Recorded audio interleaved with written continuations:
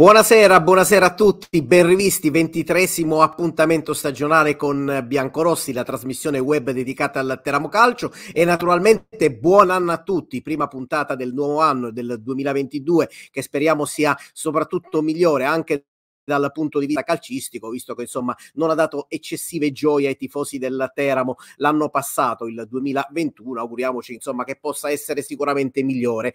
Tanti temi questa sera che tratteremo, a partire naturalmente dallo stop del, del campionato per un turno con il eh, posticipo della seconda giornata dei giovedì di ritorno che era originariamente prevista per domenica prossima nel girone B e che la Lega Pro ha posticipato a febbraio in un turno infrasettimanale, quindi si tornerà a giocare, si spera, ce lo auguriamo, con una settimana di ritardo, bisognerà vedere un po' come andrà avanti, soprattutto la situazione contagi e soprattutto nel mondo del calcio e questo sarà un tema di eh, parleremo questa sera soprattutto nella prima parte di trasmissione. Gli altri temi che, ta- che toccheremo naturalmente saranno di stretta attualità soprattutto per quanto riguarda il Teramo Calcio perché da domani riaprirà il calcio mercato e quindi proveremo a parlare un po' di calciomercato del Teramo Calcio, di quello che potrebbe fare quindi questa società, soprattutto con la situazione societaria che tratteremo come terzo argomento in questa puntata, perché insomma è sempre di stretta attualità proprio la situazione societaria in attesa del pronunciamento da parte della Federazione Italiana Gioco Calcio e soprattutto eh, in attesa anche un po' che vengano definite anche le modalità per il prossimo mercato, soprattutto da parte del commissario giudiziale proprio delle quote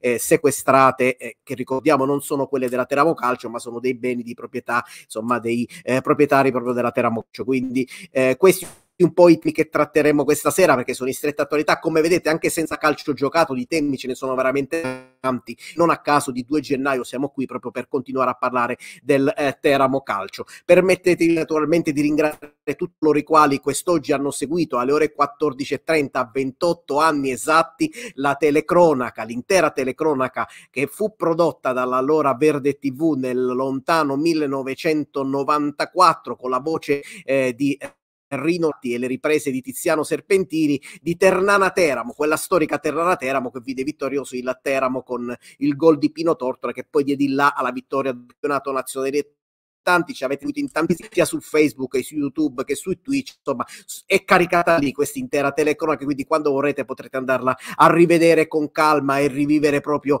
momenti veramente belli della storia del Teramo Calcio. Vi ricordo che noi siamo in diretta sulla pagina Facebook Biancorossi, sul canale YouTube Biancorossi e sul canale Twitch Biancorossi Web. Naturalmente mettete mi piace su Facebook e mh, mm, segnatevi proprio sui canali sia Twitch che eh, YouTube proprio per poterci restare aggiornati proprio con la nostra programmazione nel corso dell'annata. Vi ricordo che potrete interagire anche con noi, naturalmente tramite messaggi. I messaggi li potrete lasciare nei commenti della diretta originale che va su Facebook, sulla pagina Biancorossi, perché ci sono tante condivisioni, ma noi le acquisiamo direttamente, i messaggi direttamente dalla diretta originale che va sulla pagina Facebook Biancorossi, nei commenti commenti anche della diretta che va su YouTube e nella chat Twitch c'è la chat della diretta che va su Twitch. Quindi insomma potete lasciare i vostri messaggi, le vostre domande e naturalmente poi ne parleremo eh, e li leggeremo questi messaggi e queste domande perché faranno parte un po' di questa trasmissione come contenuti proprio che verranno esposti anche da chi ci segue da eh, casa.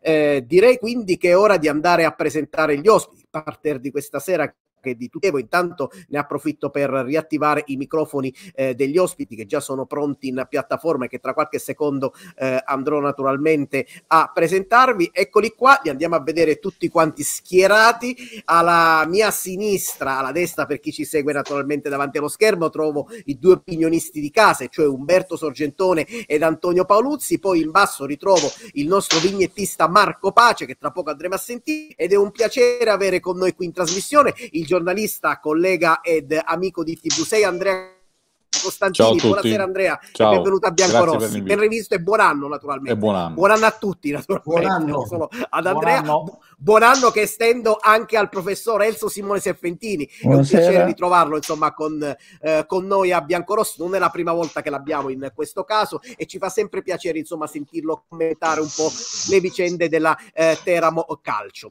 Io direi come detto in apertura, lo, l'avete visto anche un po' dallo schermo che ho messo questa sera, questo pallone, anzi ve lo faccio rivedere a tutto schermo con la mascherina. Purtroppo le problematiche Covid hanno investito anche il mondo del calcio, di cominciare a parlare un po' soprattutto la situazione che è esplosa in questo momento e che naturalmente ne sta risentendo anche il mondo della soprattutto eh, la Lega Pro che già ha posticipato un turno, ma anche nei dilettanti, insomma, saranno tanti i turni rinviati, le partite rinviate, insomma, è un problema che si ripete nel corso degli anni e che purtroppo torna di stre- eh, attualità. Io partirei da Andrea Costantini, lo vorrei proprio sentire un po' il suo giudizio su questo rinvio di una settimana, se è stata la soluzione migliore, se secondo te sarà soltanto un turno quello che verrà rinviato oppure se purtroppo dovremo saltare anche altre giornate. Insomma, che idea ti sei fatto di questa situazione?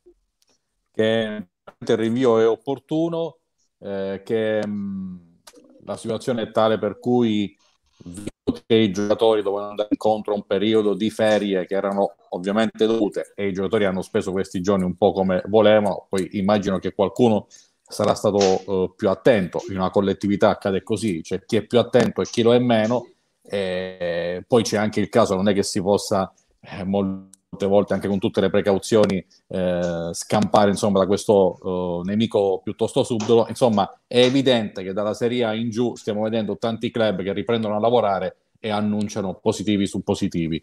Quindi io la Triestina che... oggi è arrivata a quota 23 sì. addirittura, 23 sì, ma ci sono stati dei casi davvero, davvero clamorosi. Eh, però insomma, visto che tanti club sono toccati, eh, visto che è il momento si riprende a lavorare e normalmente ci sarebbe stata una settimana, massimo dieci giorni di tempo per arrivare al primo appuntamento, con questo slittamento si darà modo alle società di smaltire, anche chi ha i casi più numerosi, di smaltire eh, que- questi, mh, queste positività. Eh, di avere poi un'ulteriore settimana per lavorare e preparare la prossima partita che non sarà quella dell'11 quindi io ritengo che eh, sia stato corretto questo, eh, questo intervento. Eh, penso e spero che non si vada oltre. Poi questo lo dirà anche l'evoluzione ehm, epidemica del, del, virus, però insomma anche dai dati ora vedo che anche la comunità scientifica comincia a parlare di, una, di un virus che si trasmette più facilmente, ma che è anche un po' più docile, un po' perché lo è lui stesso, un po' perché ci sono tanti vaccinati, quindi questo dovrebbe poi aiutare a, a riprendere il, il, passo. Comunque c'è stata anche la contrazione del numero degli spettatori, mh, riportata al 50% negli stadi, un'ulteriore precauzione. Sì. Quindi io penso che, penso e spero che eh, ci sarà soltanto questa e ritengo che il provvedimento sia stato perché eh, si riprendeva a lavorare e molte squadre non, non, lo hanno potuto fare, non lo stanno facendo al, al, meglio. Quindi il tempo di smaltire un po' di, di positivi, di rimetterli in gruppo, di avere un'altra settimana per preparare il primo appuntamento del 2022. Poi, insomma, stiamo a vedere quella che è l'evoluzione generale. L'evoluzione, epidemica. esatto. Sì.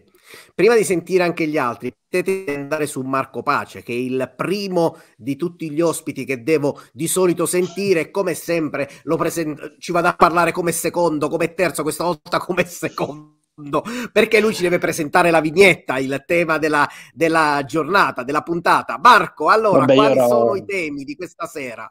ero in trepida attesa, sapevo che insomma prima o poi ti saresti ricordato. Sì, sì, sì, sì. anche se con un po' di ritardo me lo sono dimenticato all'inizio, però mentre parlava Andrea me lo sono ricordato e quindi appena ho fatto finire a parlare Andrea e poi sono andato da te. Allora, i temi della vignetta, Marco. Beh, insomma, sono passati diversi giorni per cui le idee, insomma, sono venute un po' a mancare perché è stata una mancanza di calcio giocato, quindi mh, mm, però eh, io mh, mm, eh, penso di essere ritornato all'antico, ritornando ad una vecchia querelle. Quindi no, naturalmente non, non, non, rivelo nulla, vi dico solo la parola chiave che è olè, olè. Olè, olè. Perfetto. Può essere un grido, cioè uno slogan dei tifosi. Cercheremo di capire tutto. meglio insomma i temi di questa vignetta Ritorn- con questo olè nel corso Torniamo a una vecchia rugginosa diatriba tra qual- qual- qualche personaggio in, in ah, vista. Okay. Non diciamo lo, scopriremo nel corso della puntata. Va, mi taccio, mi taccio.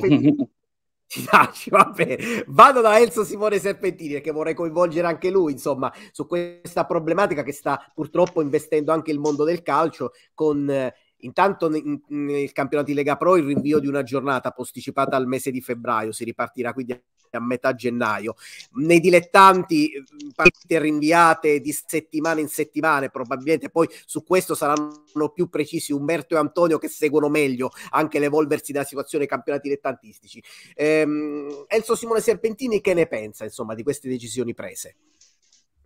Mi fai dire prima una cosa simpatica. Sono contento di avere in trasmissione questa sera anche Andrea Costantini, perché quest'anno ho scritto un libro intitolato Andrea Costantini, quindi una biografia su uno, uno, uno storico del, del risorgimento che della alla caserma della Guardia di Finanza. Ovviamente non era lui, e quindi è simpatico, insomma, mi sento particolarmente una vittima allora, della prima guerra mondiale. Il tema che hai proposto e si ripropone purtroppo un inciampo, perché quando un campionato di calcio comincia a avere questi stop, queste forzate attese, può succedere di tutto. Abbiamo visto due anni fa, l'anno scorso, non, è, non, non dico che non è regolare, è regolare, ma il corso normale viene turbato. Sicuramente degli stop imprevisti turbano l'andamento del campionato. Quindi si sa di solito cosa avviene dopo le soste, eh, alcune squadre che andavano bene cominciano ad andare male, alcune squadre che andavano male cominciano ad andare bene. Speriamo che il Teramo sia tra quelle che andavano male e vanno bene. Allora, io vado anche da Umberto Sorgentone ed Antonio Paoluzzi. Eh, anche il vostro giudizio su questa situazione la cominciamo anche a spostare un po' sul Teramo. Secondo voi, parlando soltanto esclusivamente del Teramo, è un bene o un male questo stop per il Teramo nel momento attuale? Inizio io. Umberto.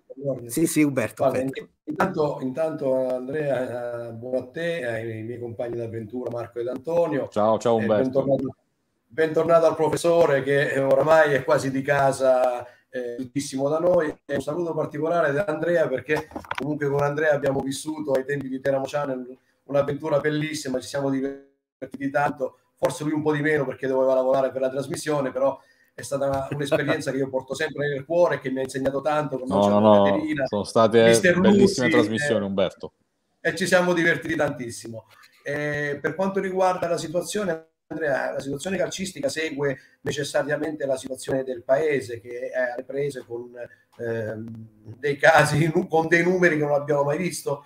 Per fortuna questo, questo, questo, questa nuova variante non sembra essere molto aggressiva però dà sempre dei, dei, degli svantaggi. Tu hai parlato dei dilettanti, io sono un dirigente, ho avuto 5-6 casi mh, mm, e quindi ho dovuto interrompere tutte le attività. Il problema più che si pone che adesso dovrebbe essere superato con le nuove regole sui vaccini, è questo che quando tu hai un positivo in squadra devi fare il tracciamento e quindi puoi mettere in isolamento fiduciario fino al tampone le persone per cui tu non hai a disposizione persone negli allenamenti. Noi è vero che siamo dilettanti, ma siamo arrivati che eravamo rimasti in 5-6, perché poi sai che succede? Che basta che anche quello che è negativo, che abbia un raffreddore o un decimo di febbre, automaticamente tu non lo fai venire all'allenamento perché hai timore di, eh, che possa avere la, la, diciamo la, il Covid.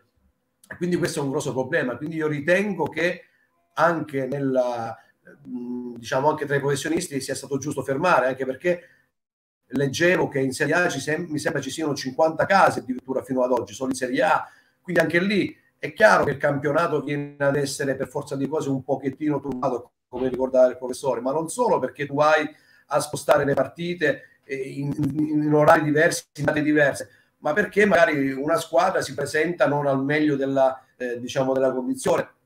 E non è come non puoi assimilare un, una persona che ha il Covid a, um, a, una persona che magari si è infortunata, perché io parlo anche dell'esperienza, ripeto, nei dilettanti, ma la stessa cosa, perché poi il giocatore non solo deve guarire, e quindi occorrono 7, 8, 9 giorni a seconda dei casi, ma poi quel giocatore deve anche ehm, rifare la visita rifare una mini preparazione. Rifare no, una no, mini preparazione per entrare in condizione.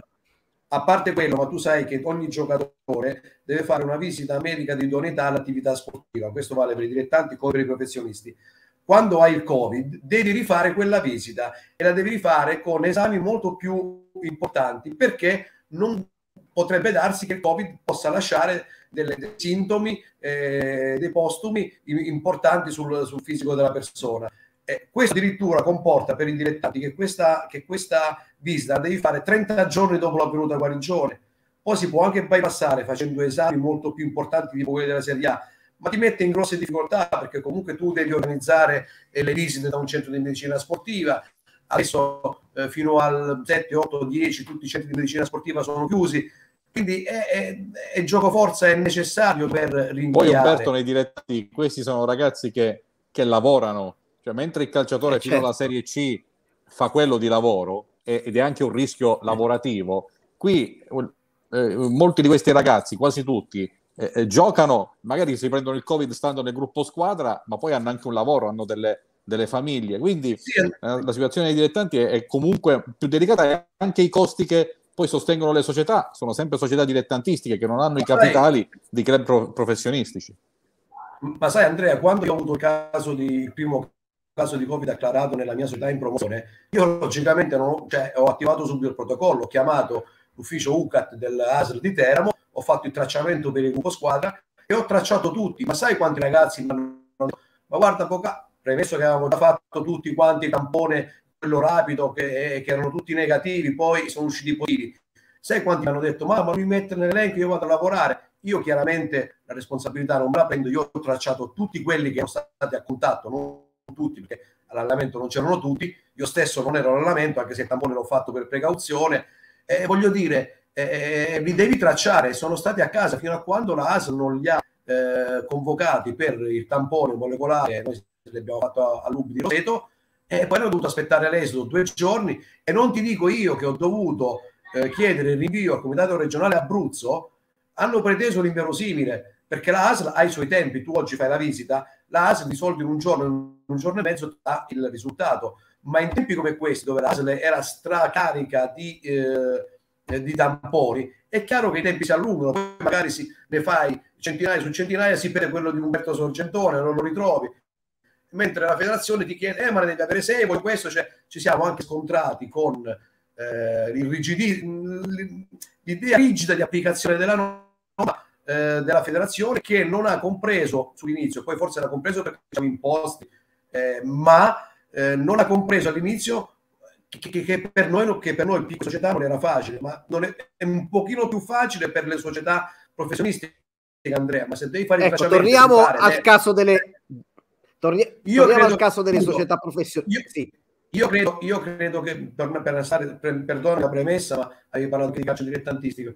Eh, per quanto riguarda il Teramo, io penso che questa pausa, secondo me, vista la situazione che c'è eh, calcistica, societaria, amen, secondo me è quasi una manna dal cielo. Qualcuno dice sì, però ricominceremo eh, con, ehm, con, il Modena, che è una squadra fortissima. Forse era meglio iniziare Vabbè, con avresti giocato la settimana dopo, e cambiava, andavi a Siena se ricominciavi su. Io penso, Insomma, io penso, non era facile neanche penso, quella. No, io penso che onestamente, come è la situazione, premesso che penso che sia stato giusto fermarlo eh, per la questione delle, dell'epidemia, ritengo che forse per il Teramo una boccata d'ossigeno, una settimana in più, qualche giorno in più per respirare, anche per vedere sì. eh, la situazione societaria, anche perché ci dovrebbe essere un altro incontro con il commissario eh, da parte della società, penso che sia eh, una, un, come posso dire, una, una benedizione, diciamo così. Poi sai, magari, magari giocavi e vincevi e giochi e non vinci, questo non lo sappiamo. Però in linea generale credo che, questa, che questo stop ulteriore possa aver giovato al Teramo. Allora, io voglio sentire anche Antonio Paluzzi, ricordando che anche nella società Teramo Calcio c'è un caso un positivo al Covid da fonti giornalistiche, il nome è quello di Birigea, che dovrebbe essere il positivo proprio in seno alla Teramo Calcio. La Teramo Calcio prima di Capodanno ha sospeso gli allenamenti non svolgendo l'ultima seduta di allenamento prima della sta prevista per Capodanno domani riprende la preparazione, verranno fatti tamponi a tutti i giocatori e contestualmente la preparazione ripre- eh, rinizierà in maniera individuale come prevede il protocollo anti-Covid. Quindi da domani il Teramo riprenderà la preparazione, ma i giocatori si alleneranno individualmente alla Bonolis in attesa dell'esito di tutti i tamponi che verranno fatti a tutti i giocatori domani proprio alla ripresa degli allenamenti. Antonio Paoluzzi. No, io sono d'accordo con quello che ha detto Andrea Costantini e Umberto Sorgentoni. Il fatto che i contagi sono, si sono ormai rialzati in maniera esponenziale in Italia è normale che i campionati ne hanno sofferto e qualche squadra ne ha avuti di più di contagi e credo oggi sia la notizia del Matelica 4-5 giocatori risultati positivi al Covid. Quindi un po' tutte le società hanno questo problema. Per quanto riguarda il Teramo secondo me come diceva giustamente Umberto è una, situa- è una situazione non la chiamerei negativa essendo soltanto un giocatore rilevato negativo, eh, positivo al Covid che come detto tu Birligea per il resto avere 15 giorni in più per poter ricompattare il gruppo, per poter anche inserire eventualmente nuovi giocatori che si stanno facendo i nomi in questo momento, di qualcuno che potrebbe arrivare fra 4-5 giorni, una settimana e quindi poter lavorare già con Guidi per poter apprendere al meglio i suoi dettami tattici. E in più qualche giocatore che è già in uscita, oggi leggevo sul giornale di, di Dio, di, di Montaperto, che sono giocatori ormai in uscita dal Teramo, quindi poter anche lavorare Guidi in maniera più specifica sui giocatori che aveva a disposizione Certo, uno dice dobbiamo ripartire con il Modena in casa, ma anche ripartire a Siena con il cambio di allenatore e con il mercato aperto che va cambiando anche la squadra del Siena, non era facile lo stesso ripartire da una trasferta. Anche se quest'anno il Teramo ci ha abituato che in casa ha fatto più fatica e fuori casa ha avuto più risultati. Io vado proprio da Andrea Costantini e vorrei coinvolgere anche lui un po' sul discorso e chiedere anche a lui, insomma, se è stato un vantaggio o uno svantaggio. Mi sembra di capire che una settimana in più di preparazione non guasta per nessuno, soprattutto perché poi questa preparazione nel periodo tra Natale e Capodanno è stata molto spezzettata, considerando anche la presenza del Covid che ha fatto saltare degli allenamenti, eh, preparazione individuale da parte dei giocatori, quindi una settimana in più di preparazione, insomma, sicuramente potrà giocare un po' a tutte le squadre, anche al Teramo. Sì, ma questo non è un vantaggio perché poi è per tutti.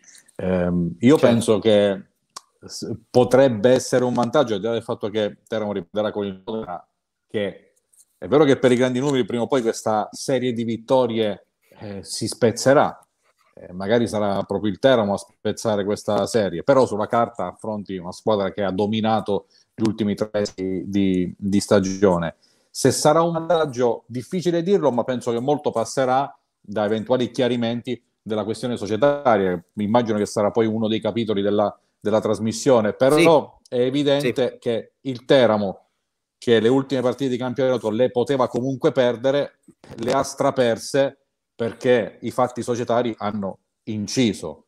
Ora, la partita di Pontedera è stata una manna perché è stata l'eccezione di un periodo assolutamente negativo, ma peraltro era la settimana che seguiva i, i provvedimenti positivi no? per la, per la nuova, eh, proprietà. Eh, però prima di quella partita e dopo il Teramo è praticamente si è liquefatto ogni prima difficoltà. Quindi è evidente che la questione societaria andrà a incidere e se da qui all'inizio del campionato del, del 2022, quindi con il Modena, al di là della difficoltà estrema della partita, arriveranno dei segnali positivi, magari arriverà anche qualche rinforzo, ma rinforzo vero, un rinforzo che sia destinato a elevare il tasso tecnico della squadra, perché se io prendo Cosimo Forgione, un giocatore che eh, ha fatto anni fa la Serie C, che negli ultimi anni ha fatto la Serie D, potrà portare il suo contributo se sarà poi messo in lista se firmerà, però parlare di lui come un rinforzo è un giocatore che andrà a fare numero. Difficile parlare di giocatore che va a rinforzare eh, l'organico. Quindi, se ci sarà una schiarita societaria, eh, se ci sarà la possibilità di avere margini per fare interventi incisivi a livello di, di mercato e se soprattutto perché non è neanche detto che questa squadra, anche senza rinforzi, non se la possa giocare. Ha dei limiti, però il campo aveva detto fino a quel momento negativo, fine novembre, mese di dicembre, che questa squadra se l'era giocata con tutte, aveva vinto, perso, pareggiato partite, ma se l'era giocata con tutte. Quindi eh, l'importante è ritrovare serenità e la serenità passa certo. innanzitutto da delle dinamiche societarie. Quindi se mi chiedi, la risposta è dipende dalle dinamiche societarie. Io, come vedete, già ho cambiato lo sfondo dietro di me perché stiamo entrando nell'altro tema, quello del calciomercato, come giustamente ha fatto bene Andrea ad entrarci. Eh, Umberto Sorgentone che tipo di mercato si aspetta? Perché qui poi si vanno a incastrare tante situazioni, soprattutto che non dipendono direttamente dalla volontà dei proprietari della Teramo Calcio, ma da altre volontà, insomma, no? perché il tipo di mercato che verrà fatto probabilmente non verrà stabilito dagli stessi eh, proprietari della Teramo Calcio. No? A me sembra che il mercato del Teramo, oh, con una battuta, sia come quando tu vai al mercato del pesce, ma le parti sono uscite perché c'è stato maltempo, quindi trovi pochissima roba eh, e quello che trovi lo paghi pure, insomma. Eh, al di là della metafora è difficile eh, ipotizzare un mercato del Teramo eh, come lo aveva configurato Chierchi, no? che aveva parlato con Federico in conferenza stampa di un certo numero anche abbastanza eh, elevato di, di, di, nuovi giocatori. Perché? Perché intanto eh, bisogna prima cedere e poi prendere per rispettare il numero in rosa. Ma il problema grosso è che eh, non hai la disponibilità economica, perché se si dice che con i soldi in casa si può arrivare fino a febbraio, eh, stiamo parlando di ordinaria amministrazione, cioè di pagamento di stipendi. Certo. Eh, dei dipendenti, dei calciatori. Potrei fare un mercato in cui prima vendi e poi acquisti oppure fai uno scambio sarà un mercato o di scambi Ma oppure Andrea, prima dovrai cedere e poi dovrai acquistare. Ho capito, se però tu vuoi prendere un, un giocatore eh, diciamo top, diciamo così top, dovresti per avere i soldi in questa situazione dovresti vendere un altro giocatore che tu hai che è top per cui non avresti morto cioè magari poi funzionalmente magari funzionalmente ci guadagni perché magari in quel ruolo non lo so sei più coperto piuttosto che altro ma premesso che di giocatori top il Teramo sulla carta. Ma un top se n'è andato, no, carta... un top se n'è andato già. È un partito top, eh? Piacentini per... per Modena. È partito Piacentini per Modena, quindi un top, forse l'unico top che avevamo se n'è andato già. Eh, quando, quando, il problema è quanto, quando ci rende la cosa, perché se la cosa non rende nulla, di fatto siamo ancora al punto di partenza, volendo parlare volgarmente di soldi, insomma. Eh, cioè, quindi io non credo che il Teramo in questa situazione possa, se come si dice verrà sbucata la sponsorizzazione che sarebbe dovuta entrare nelle casse del Teramo eh, da parte di una delle imprese eh, dei signori Ciaccia, penso, se non ricordo male, ho letto questo eh, sulla stampa, qualcosina entrerà, ma qui dobbiamo pensare a una cosa, che se è vero che con i soldi che ci sono si arriva fino a febbraio, la priorità eh, del commissario e anche della società sarà arrivare eh, fino alla fine della stagione con, la, con l'ordinaria amministrazione. Io poi dico la verità, ma mi, mi, mi riaffaccio a quello che dicemmo già quest'estate, quando dicemmo che la squadra non era uno squadrone, ma che comunque aveva, vedendo anche che poteva giocare per salvarsi, e in questo io sono d'accordo con Andrea, cioè se Teramo riacquista quella ehm, tranquillità mentale perché adesso il Teramo sinceramente secondo me più, i giocatori non hanno più nessuna, nessuna convinzione dopo le, le, brutte partite che abbiamo visto. Quindi se il Teramo riacquista un po' di, eh, di garra, di cazzimma come si dice a Napoli forse comunque se la gioca può anche salvarsi perché la salvezza può essere anche che ti salvi non dimentichiamoci che ci siamo salvati con il piedone di Caiti con il commercialista di Sant'Arcangelo voglio dire in una situazione come questa io da tifoso sai che, sapete che vi dico che anche se mi dicessero ti salvi all'ultima giornata ti va bene un altro commercialista insomma ho capito ho un altro piedone va bene. va bene. Andrea, oggi, Andrea oggi come oggi io non vedo altre alternative da quello che vediamo adesso e l'ha ricordato Andrea no? nell'ultimo periodo eh, non vedo altre alternative per cui salvarsi oggi era priorità ma è una priorità eh, calcistica perché il vero problema secondo me l'abbiamo detto anche nell'ultima trasmissione il problema grosso non è tanto la salvezza del titolo sportivo, ma qui ne parleremo dopo, presumo, qui è la salvezza della società, del Teramo Calcio che ci interessa. Hai, per, hai perfettamente che... ragione Umberto.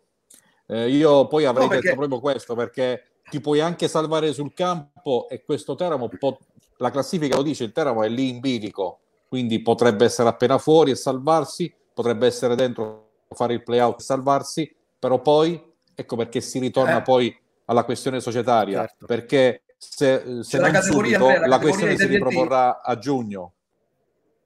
Perché esatto. anche se va in Serie D, malauguratamente un anno, due anni, comunque hai la possibilità, non è la prima volta che il Teramo riscende in D, non lo auguriamo, sia chiaro, ma, ma riscendere in D, se, se tu mi chiederesti, eh, saresti disposto a riscendere in D ed avere una società eh, sana, eh, decisa, che non abbia problemi, eccetera. Io da tifoso ti direi sì, perché con una società sana, un anno, due anni, tu comunque cominci.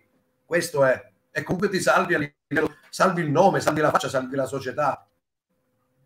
Io vorrei sentire anche Enzo Simone Serpentini e poi vado anche da Antonio Paoluzzi, soprattutto sul mercato, o meglio, che cosa si aspetta Enzo Simone Serpentini da questo mercato, se il Teramo farà mercato in un certo modo, cioè con possibilità di potersi rinforzare, perché insomma la classifica chiede questo, poi bisognerà vedere se sarà possibile farlo questo. Se nel mercato estivo si può sbagliare 100, nel mercato invernale si può sbagliare 200 è molto più facile sbagliare perché, come è stato detto, sul mercato la frutta che ci sta è rimasta quella, quella, quella invenduta, quella che non è buona. Fai uno scambio alla pari, difatti pare oggi ho sentito stasera qualche telegiornale di questa partenza dei Piacentini che ha consentito a qualcuno di arrivare, non ho capito se vale di più o di meno di Piacentini. Eh, qualche scambio alla pari, è partito Lombardo e e non, non, so chi arriva. De Grazia, un giocatore, De Grazia un altro pare che abbia rifiutato di venire a Teramo. E questo può succedere perché non, non è facile farli, davvero questa volta non è facile farli venire. Quindi io non sono molto ottimista eh, su, sul fatto che si possano aggiustare le cose perché aggiustare le cose a gennaio è come fare 13 al Totocalcio, è complicatuccio forse, forse peggio, non lo spero, ma mm, poi abbiamo le mani legate e siamo saliti sul ring contro un avversario con le mani legate dietro la schiena e non abbiamo i soldi da spendere, c'è da una frega mazzata se combattiamo con uno con le mani legate dietro la schiena. Quindi, però, tutto sommato, sì, potremmo salvarci lo stesso. Certo, continuando a perdere 4-0, 4-0, 4-0, perché questi punneggi artistici non li abbiamo mai visti e ci hanno crepato. Il problema più grosso, l'avete detto, è quello societario. Lì abbiamo grosse, grosse nuvole. Abbiamo scoperto che non soltanto i tempi della giustizia ordinaria sono lunghi, sono lunghi anche i tempi, non dico della giustizia, ma dell'organizzazione sportiva. Perché per dire se una società può cambiare eh, management, eh, ci stanno a mettere un'eternità, quindi rispetto a chi vuole le cose cotte e magnate, vuole le decisioni prese in pochi giorni. E, qua manco la federazione ci dà le decisioni cotte e magnate poi in dieci giorni. E quindi è complicato. Quello è tattico, questo, quello è tattico quello della federazione, un silenzio tattico, attendista. Attendista, cerca di vedere che succede, se c'è tintinnio eh. di manette oppure esatto. c'è tintinnio di, di bicchieri di cristallo con lo spumante dentro, che non lo so. E la cosa è complicata, la cosa è un momento difficile, è un momento difficile e non è facile eh, sapere cosa succederà. Le cose che sappiamo con certezza riguardano eh, le decisioni di chi ha gestito finora, perché finalmente abbiamo capito i criteri in base ai quali è stato gestito il Teramo negli ultimi due anni, abbiamo capito perché è stato gestito così e, e questo è l'unico tipo di gestione che abbiamo davanti, la vedo nera. Allora, vado da Antonio Paoluzzi perché vorrei coinvolgere anche su un discorso più che altro uh, tecnico, cioè dove interverrebbe Antonio Paoluzzi in questo teramo, quali sarebbero i ruoli che andrebbe a toccare, dove opererebbe da operatore di mercato. Eh, il problema è che bisogna vedere prima la cassa. Quando vediamo la cassa, se ci sono esatto. soldi, si Pre- allora facciamo finta che, tu, tu, finta che tu hai una buona cassa. cassa è vuota, facciamo l'ipotesi. Dove? Sappiamo che purtroppo ad oggi non è così, però facciamo finta. no, il problema, il problema, di adesso è che io faccio una battuta. Questo è un, sarà un, come dici, che mercato sarà? Sarà un mercato giudiziario, nel senso che l'ultima parola aspetta sempre il commissario giudiziario. Anzi, quando si tratta di atti di, di straordinaria amministrazione, tocca al giudice, il commissario giudiziario riferisce al giudice, il giudice autorizza o meno lo spostamento di mercato. Quello che bisogna vedere adesso è... Tu pensa no, se abbiamo senso... un giudice che non, gli, che non, gli, piace il calcio, immagina che c'è un giudice che magari... No, pensa se c'è un giudice, pensa se capita un giudice che è originario di Giulianova. Ti dico ancora questo, capito? C'è originario di dice no, il Teramo non farà mercato.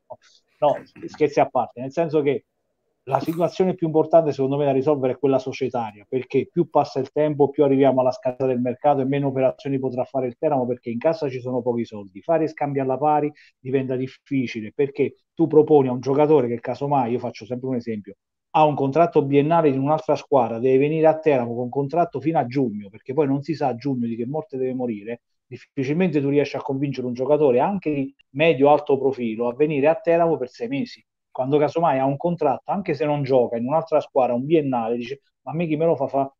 Se io sto due anni in questa società, pure se non gioco prendo lo stipendio? Punto interrogativo. Questo è già uno dei primi aspetti. Poi il Teramo dove deve intervenire, io da giugno e da luglio che lo dico che il Teramo era stata costruita male come squadra, perché mancava un ulteriore difensore centrale con struttura fisica, un centrocampista strutturato fisicamente o un ruba palloni perché il Teramo non ha un incontrista vero e proprio a centrocampo, è un, è un centrocampo quando gioca con Viero, quando gioca con Arrigoni e quando gioca con Mungo leggero. Questo non vuol dire che non vanno bene i centrocampi tecnici, i centrocampisti tecnici, perché vanno benissimo, però ci serve anche chi in fase di non possesso ti recupera il pallone e ti fa ripartire. Posso fare una metafora? Eh, Antonio, posso prego, fare una metafora? Prego, professore. Questo gioco a scambio, gioco a scambio senza spendere troppi quattrini mi rassomiglia un po' alla partita di Ramino, no? Cioè noi stiamo andando, o a, o a poker se vuoi, stiamo andando a scala in nastro e te ci scambiamo le carte, sperando io che mi capita la carta di cuore che mi fa fa colore. E a te che ti capita la quadra, cioè io, io ti do una quadra e tu ci fai scala e, e io ti do... È una partita a Ramino, c'è chi ci rimette e chi non ci rimette, è, è solo una botta di, di fortuna, cioè la partita a scambio. No, no, Entrando sì, nei ruoli, a te ti serve un certo tipo di giocatore, quello ce l'ha e, no, e non gli serve, te lo do a te che invece ci, ti, ci, ci fai forte e tu intanto gli dai una cosa a lui, però sono sempre scartine. Eh, sono sempre no, scartine. Che, oltre, che, oltre, oltre che sono scartine, il problema è che quando io chiedo un giocatore ad un'altra squadra, la società interpella quel giocatore, dice vuoi andare a Teramo per sei mesi perché alla fine come diceva giustamente Andrea, se non si sa di che morte deve la società, il problema grosso è la società, perché se la società arriva fino a giugno, ma poi a giugno finisce tutto, il giocatore che viene qui per sei mesi, se lo fa questo discorso, ragiona e dice scusa, cioè, io ho un contratto qua di un anno, dire, due anni, vado a fare sei mesi a Teramo e poi mi ecco, trovo senza squadra, cioè, diventa pure un, un problema. Ma anche perché, ti dico di più Antonio, di cuore quando... che mi farebbe fare scala, non mi, mi ci vuoi venire.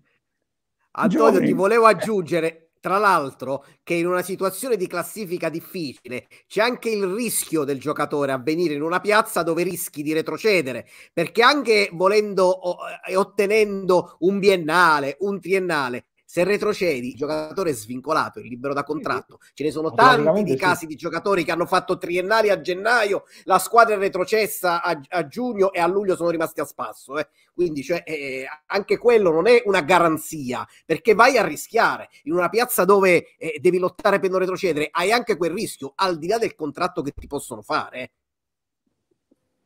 Ma sì, ovviamente è questo. Poi... Vai, vai, vai Umberto. No, no, no, no, vai, vai, scusami. No, dico, quello è un rischio sicuramente, è un rischio che bisogna sicuramente calcolare, il giocatore lo calcola. Certo, chi, chi ha, sta in una squadra dove sta giocando poco o ha bisogno di rilanciarsi, può essere che questa squadra la fa, però io rimango sempre del dubbio che, che come diceva giustamente Andrea, come ha detto giustamente Umberto, se non, la, se non si ha una certezza societaria, una solidità societaria, è difficile, diventa meno appetibile la piazza di Teramo per tanti giocatori perché non vogliono rischiare. Poi per la società. Io ho sentito un'intervista ultima dell'ex presidente Iachini che diceva abbiamo il piano A, il piano B e il piano C. Bene, se il piano A non è andato a buon fine, mettiamo in campo il piano B e il piano C prima che chiuda il mercato, perché se tu trovi a cedere le quote societarie anche con i Chierchia, perché sappiamo che la federazione, quando i termini non sono perentori ma sono ordinatori, la federazione italiana gioco calcio se la prende con calma, anche perché aspetta la magistratura. Siccome 30 giorni non sono un termine perentorio ma sono un termine ordinatorio, la FIGC dorme sogni tranquilli, si è fatto Natale, si è fatto Capodanno, si farà pure la Befana. Senza prendere a me mi sembra decisione. che stiamo, noi stiamo al piano terra, no? ABC, piano eh, terra. Eh, quindi, io, quindi se, se, ci sono queste soluzioni, che ci, se ci sono, le mettessero in campo subito in modo che Teramo poi avrà la possibilità di poter operare fino al 30 di gennaio e poter acquistare giocatori, non fare scambi con giocatori di seconda fascia, ma poter andare a prendere anche un giocatore di prima fascia che ti può servire per una salvezza. Allora, torno no, da Andrea Costantini. Che... Scusami, no, sì. scusami, l'unica cosa, l'impressione. Dopo vado da Andrea, sì. Sì, è l'ex proprietario del Teramo abbia, un, abbia o aveva un solo piano, il piano P, che inizia per P. Naufragato quello, penso che altri piani non ce ne siano, solo quello che io inizia le dichiarazioni P. che lui ha fatto alla sua emittente, non... No, no, ma io, quante lettere è questa P? Fammi capire. Io non sto, io non sto, non, non sto contestando quello che dici tu, io dico la mia impressione perché ma B che vuol dire? B. Come lo interpreti? No, P come Palermo mi sa che ha detto, no B, ha detto P come Palermo, mi sa. No, no P come Palermo, P come Peppe, come so. P come Peppe. Eh, perciò volevo sapere quante ah, lettere, se era di tre lettere, tutto qua. Dai. Eh, no, l'altro su primo sono a caso perché è una parola che va di moda. Ma di sentire anche Andrea Costantini. No, eh, prima parlava di silenzio tattico, sentivo anche eh, Antonio eh, Paoluzzi ma noi abbiamo provato anche a informarci presso la Federcalcio e ci è stato detto a inizio settimana, beh, gli uffici sono chiusi in questi sono giorni, periodo di ferie. Però, però il 31 dicembre, quasi a ridosso della mezzanotte, l'ufficio legale della Federcalcio ha lavorato e come?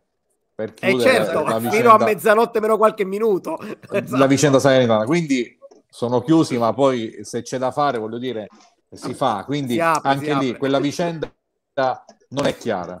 E viene chiara la vicenda della, della, della Coaps, della, della Federcalcio, perché comunque c'erano dei tempi. E poi attenzione che ci sono società che hanno preso penalizzazioni non perché il passaggio societario non era corretto e non c'erano i requisiti, no, perché hanno presentato in ritardo i documenti. Quindi, insomma, il Teramo ha presentato all'ultimo giorno utile, così ci è stato detto e così abbiamo riportato, all'ultimo giorno utile, il 23 novembre, il closing lotto, quindi alla scadenza dei 15 giorni ha presentato i documenti.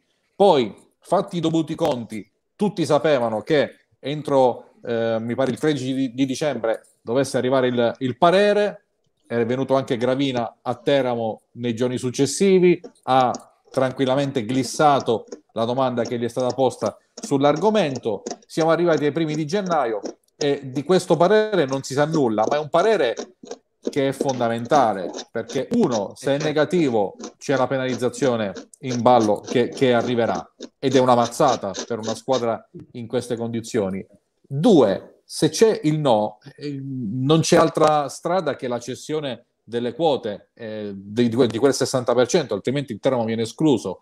Solo in caso di parere positivo eh, i Ciaccia potranno eh, continuare a, a operare però poi subentra l'altro problema, in che modo? E quindi bisogna vedere, insomma, con l'amministratore giudiziario quali sono i margini per eh, far espletare tutto il flusso di cassa e poter eh, sfoderare no, le, le, sponsorizzazioni, ma fino a che punto?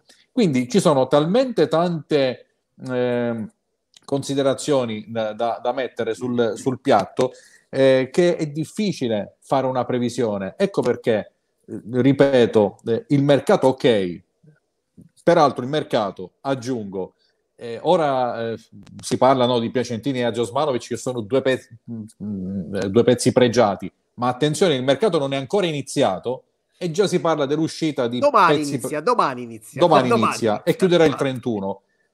Poi però il mercato è lungo e se la questione non viene messa a posto, chi vi dice che possa arrivare una società e bussare per Arrigoni? Chi vi dice che non possa arrivare una società e bussare per, per Mungo? Chi vi dice che qualcuno non possa bussare per Soprano? Sono questi alcuni dei giocatori più importanti che il Teramo ha sotto contratto. Sono giocatori che peraltro stanno andando a scadenza, Mungo e Rigoni in particolare, hanno stipendi importanti, ma probabilmente, essendo ora il Teramo in una situazione anche di, di debolezza, essendo esposto, qualche club ambizioso potrebbe bussare alla porta del Teramo e soprattutto alla porta dei rispettivi procuratori per portarli via, se non ora, magari il 20 di gennaio, magari il 25. Quindi questa è una, è una cosa da rimettere a posto. Sarà molto difficile rimettere tutti i, i pezzi al, al, loro posto, però molto passa da lì, perché è inutile girarci intorno. E anche se la scampi ora, se non si rimette a posto la questione societaria, la, eh, la vicenda si eh, eh, ritornerà fuori a maggio e giugno. C'è poco da fare. Andrea, tu che sei un profondo conoscitore del mondo calcistico, dei giocatori, tutte le categorie, ti seguo sempre attentamente, conosci vita, morte e miracoli di tutti i giocatori di tutte le categorie, meglio di certi direttori sportivi addirittura. Mm. Eh, Beh, premesso beh. questo e premesso che il mercato ancora non si apre, si aprirà domani, quindi mm. ad oggi non c'è nessun tipo di movimento ufficiale fatto dalla Teramo perché bisogna aspettare sicuramente la giornata di domani per poter ufficializzare eventuali movimenti. Eh, ti cito alcuni possibili possibili movimenti che magari potranno essere ratificati già nella giornata di domani o ce lo auguriamo insomma al più presto. Allora la possibilità di De Grazia che torni dal Piacenza e vada Lombardo al posto di De Grazia a Piacenza, quindi uno scambio.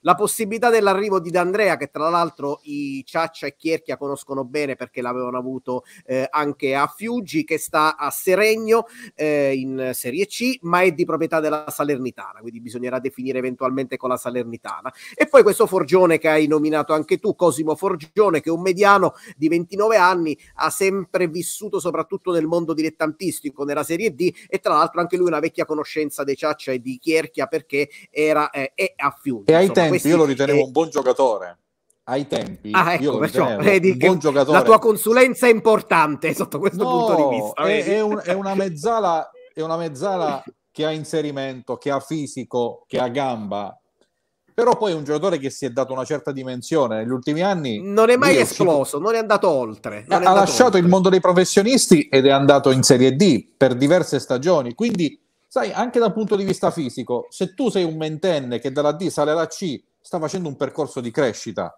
Guardate Alessandro Fagioli, per esempio, eh, certo. cosa ha fatto da Castelnuovo ad Ancona, dove addirittura ha migliorato rendimento e numeri passando da una categoria a un'altra, ma in un percorso di crescita ascendente. Ora, un giocatore che dopo anni di C fa diversi anni di Serie D, anche da un punto di vista atletico, fisico, riadeguarsi ai ritmi più sostenuti del mondo dei professionisti non è mica semplice. Magari avrà delle qualità perché in passato ci ha giocato, però ecco, parliamo di un giocatore che ai tempi io, insomma, mh, mi piaceva abbastanza ora a, a 30 anni dopo tanta Serie D non so che eh. contributo possa dare. Anche il movimento che tu dicevi, De Grazia Lombardo, a me non convince tanto perché De Grazia è un giocatore che a Teramo ha fatto anche benino, però è stato in anni anche dove la squadra era in grande difficoltà. Ed è un giocatore. Tra l'altro, anche in discorso... centimetri, insomma, credo che il centrocampo del sì, Teramo no, abbia bisogno di eh, qualche centimetro in più. Sposare, e... eh, io questo discorso l'ho anche fatto nelle nostre trasmissioni, eh, quello che diceva Paoluzzi, un centrocampo leggero e si va ad aggiungere un altro giocatore leggero togliendo un Lombardo che aveva fisico e centimetri e anche una certa duttilità. Ora, magari sarà stata un'operazione di natura forse economica, non so, c'è un, un risparmio, perché se dovessi stare un po' alle caratteristiche dei giocatori, forse il Teramo avrebbe più bisogno di un, di un Lombardo più che un, di un De Grazia. Però, insomma, poi quando si hanno queste difficoltà, di cui insomma stiamo anche parlando, eh, devi anche un po' scendere a compromessi. Quindi sono dei movimenti in questo, in questo frangente che potranno essere ratificati nei prossimi giorni, ma che non mi fanno pensare a e un ne aggiungo anche altri dell'organico. Sì. Ti aggiungo, come ha, detto, come ha ben detto Enzo Simone Serpentini, la possibilità che Piacentini possa andare al Modena, già a partire magari dalla giornata di domani o nei prossimi giorni. E in questo Beh, caso, se ricordo, bene, se non ricordo male, Piacentini è uno dei giocatori in quota parte di Achille, insomma, di quei giocatori che si era riservato la possibilità di monetizzare una parte in fase di gestione della società, quindi rientrerebbe anche in un possibile eh, acquisizione di denaro da parte mm. di, del, di Achini, con tutto che non è più diciamo, il presidente del Teramo. E subito dopo... Eh, parliamo del queste... difensore migliore del Teramo. Certo, però con Piacentini. i soldi che potrebbero arrivare da Piacentini mm. si potrebbero acquisire le prestazioni di Marilungo e Frascatore, che insomma potrebbero essere due giocatori che ti potrebbero insomma garantire allora, qui sicuramente allora, esperienza, no? Tu che sì, ne pensi, Andrea? Io, allora, quanto ti può dare il fra... per un giocatore che comunque eh, a, a, giugno è libero? Cioè, non è che ti dà chissà che, eh? Allora, eh, sentiamo Andrea. Frasca... no, Frascatore che potrebbe arrivare m- mi fa pensare che Guidi or- ora stia virando decisamente sul 3-5-2 perché Frascatore in una logica di difesa a 4 non è un centrale puro da difesa a 4 ed è un terzino che può dare una certa affidabilità, ma insomma non, non, parliamo di un giocatore che se tu togli un, un, un, ragazzo che è cruciale per la difesa del Teramo, devi prendere un giocatore che sia altresì cruciale nello stesso ruolo. Frascatore come difensore centrale una difesa a 4 non ti, non ti dà quello che ti ha dato finora Piacentini. Se passi la difesa a 3, Frascatore come braccetto mancino ha la sua utilità, altrimenti dovrebbe essere messo da quarto di sinistra, dove il Teramo ha dei giocatori che sono un po' leggeri, ma sono comunque mancini naturali, sono giocatori di ruolo come Rillo e Ndreca. Con Frascatore comunque in quell'ottica si farebbe un piccolo salto di qualità, però lì in mezzo perdi troppo. A meno che non si viri decisamente sulla difesa a 3, allora mm, c'è, immagino, soprano centrale, Frascatore messo come braccetto di sinistra, eh, potrebbe quasi essere un upgrade.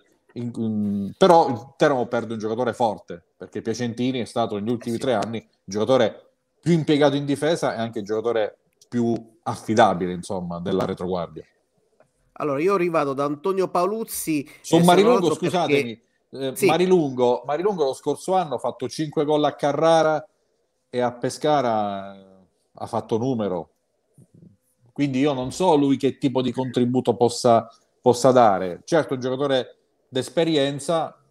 Non vorrei essere troppo critico perché poi il mercato non ancora si apre e quindi però se, se io devo intravedere potrebbe rivelare un, un, reale rafforzamento del Teramo in questo momento è difficile per me parlare. Poi parla il campo e il campo può dire cose diverse perché il campo eh, le partite non, non, sono una scienza esatta e non si le chiacchiere poi restano fuori dal campo le considerazioni e le opinioni. Però se dobbiamo verificare un eventuale rafforzamento alla luce di questi probabili movimenti, per me è difficile in questo momento parlare di un Teramo rafforzato. Intanto a proposito di altri movimenti, domani verrà ufficializzato Saveriano Infantino a Potenza, va via da Carrara e va a Potenza dove insomma resterà in Serie C, insomma darà una mano alla formazione di Caiata. Torno da Antonio Paluzzi che è stato molto attento nel sentire questi nomi, che idea si è fatto? Eh? Io vado da Antonio perché so che alle 21.30 ci dovrà lasciare per un impegno precedentemente preso e poi lo ritroveremo eh, la prossima settimana. Antonio. No, eh, diceva giustamente, come diceva giustamente Andrea, io avrei quasi un dubbio, cioè vorrei quasi lanciare una provocazione, un dubbio. L'entrata di eventuale entrata di De Grazia, come diceva giustamente Andrea, tu non vai a rinforzare un centrocampo del Teramo con l'uscita di Lombardo, sono due giocatori con caratteristiche diverse e al Teramo forse oggi servirebbe più un Lombardo che De Grazia. Però a quel punto mi verrebbe in mente l'uscita di Mungo. Stanno preparando la, la strada per uscire Mungo, che ha un ingaggio importante, portare De Grazia. Non è da escludere, non è da escludere eh, a questo punto ci sono alcuni movimenti che loro stanno facendo, come diceva giustamente Andrea, esce Piacentini, casomai prendo Frascatore e passo la difesa a 3, con un centrocampo a 5, va fuori Mungo e, perché ha un ingaggio importante, quindi abbasso un po' il monte ingaggi nostro e metto dentro De Grazia.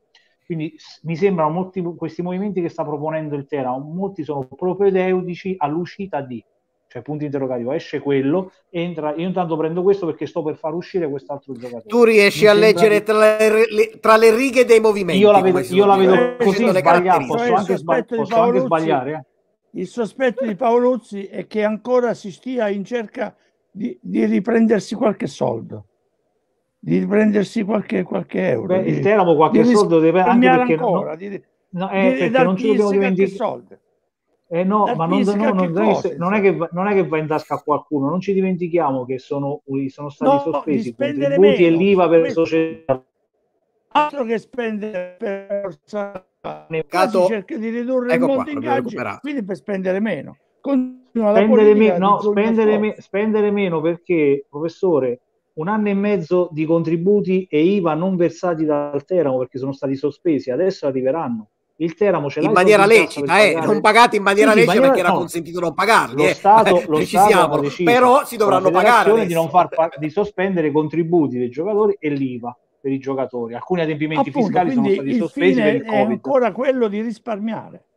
Eh, come è stato anche perché, se, anche perché se arriva poi la richiesta di contributi tutti insieme, il pagamento e delle, e la, le fiscalità, insomma, tutte insieme non si pagano, sappiamo che ci sono i punti di penalizzazione quindi bisogna vedere anche in cassa quando c'è, per fa- bisogna fare tutti questi conti. Eh. Certo. Andrea, però allora, diciamo, io, diciamo sì. scusa Andrea, diciamo Poi dopo saluto Antonio che ci siamo sì. alle 21.30, ecco, andiamo alla lettura di un po' di messaggi perché ce ne sono tantissimi e poi andiamo a parlare un po' invece della situazione societaria. Ecco, ti dicevo che i contributi, Umberto, i contributi sono stati sospesi in maniera legittima perché era permesso, sia chiaro questo, eh, però ecco, si sì, poteva... l'ho, precisato io. però si potevano anche pagare una società seria, solida. Era un'opzione, rispecchia... potevano essere anche ecco, pagati. Era un'opzione, ecco, esatto. Scusami, ma una società seria, solida, che rispecchia il suo presidente, che è solido, che è serio, poteva anche, anche pagarlo Covid a parte, perché tanto l'acqua che ne piove sta su un giro, si dice, no? Cioè, alla fin fine, prima o poi la devi comunque pagare, capisci? Allora, io ringrazio Antonio Paoluzzi, lo ritroveremo naturalmente domenica prossima perché per il mese di gennaio andremo sempre in onda di domenica, tranne che nell'ultima puntata del mese che sarà di lunedì 31, ultimo giorno di calciomercato, si chiuderà alle ore 20 e noi alle ore 20 e 30 saremo in diretta. Grazie Antonio, alla Grazie prossima. a voi, buon proseguimento. Ciao ciao. ciao. Allora, intanto si è, si è, è, è crollato anche Andrea Costantini, vediamo di recuperarlo. Insomma, adesso lo recupereremo sicuramente. Intanto eh, andiamo ai messaggi. Vediamo intanto. Intanto mando anche un messaggio ad Andrea. Comincio a leggere i messaggi. Eccolo qui, eccolo qui. Lo stiamo recuperando. Eh. Ancora qualche secondo e lo recupereremo. Eh, intanto sto. Intanto andando... vediamo Marco a che punto si trova, Andrea. Vediamo sì, sì. Marco, Marco, sei a buon punto? Sta a che punto sei? A Marco gli alziamo. Intanto, intanto, abbiamo recuperato Andrea, eccolo qui. Mm. Rivado intanto da Marco che, e, e, gli togliamo il silenziatore, come so dire, l'audio silenziato. A che punto sei col lavoro, Marco? Ti stavo dicendo che non sento Umberto dall'inizio della trasmissione. C'è sta rotella che gira sempre. Eh, non, non so perché. E eh, non vedo, no, sento Umberto, ma non lo vedo. Ah, vabbè, lo senti, ma fai conto che sia una radiocronaca quella di Umberto, dai. Eh, è, un, è un dispiacere non vedere Umberto, dai. No? no, vabbè, Marco, sono bella Comunque, mi assicuro che da casa si vede tutto, è solo la tua connessione che ti rallenta un po' la cam di Umberto, ma da casa va tutto bene, ho sotto controllo. Come vedi, ti faccio vedere le mani che sono, tutto, sono nerissime. Le mie Bene, mani sono nerissime, sto usando nero, nero a, tutta, a tutto spiano. Mol- c'è molto nero, molto nero, molto nero. Allora, ma Vado Bella ai messaggi perché ce ne sono veramente tanti e ci sono anche domande e considerazioni, anche complimenti per voi, quindi li comincio a leggere. Eh, vi ricordo che potete lasciare i vostri messaggi e le vostre domande su YouTube, Facebook e Twitch nei commenti della diretta che sta andando e che state seguendo. Partiamo da questo primo messaggio. Paolo Gabriele Balloni, buonasera a tutti e buon anno. Che dire, speriamo che il nuovo anno eh, porti pace e serenità in tutte le famiglie. Poi per quanto riguarda il Teramo, spero che il nuovo anno possa essere più sereno e che ci porti buoni risultati sia in società che in squadra. Saluti a tutti, buon anno, sempre Forza Teramo, Paolo da Corropoli.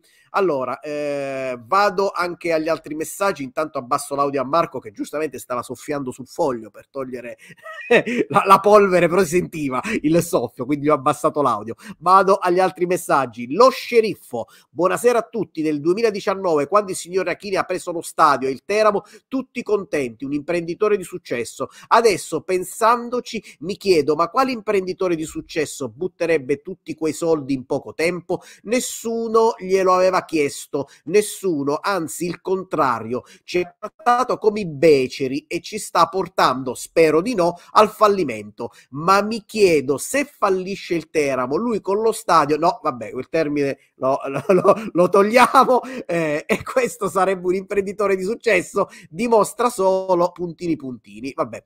Eh, questo è il eh, pensiero vabbè, quindi Andrea, dello sceriffo. Andrea sì. Se non ci gioca il termo, ci possiamo fare sempre un, una piscina, un campo da padel, cioè un, lo, lo, lo, lo, riconvertiamo in qualche maniera, ci facciamo un ippodromo, che ne so, cioè, voglio dire, la fantasia, qualcosa ci faremo, voglio dire. Allora, eh, eh sempre lo, lo sceriffo.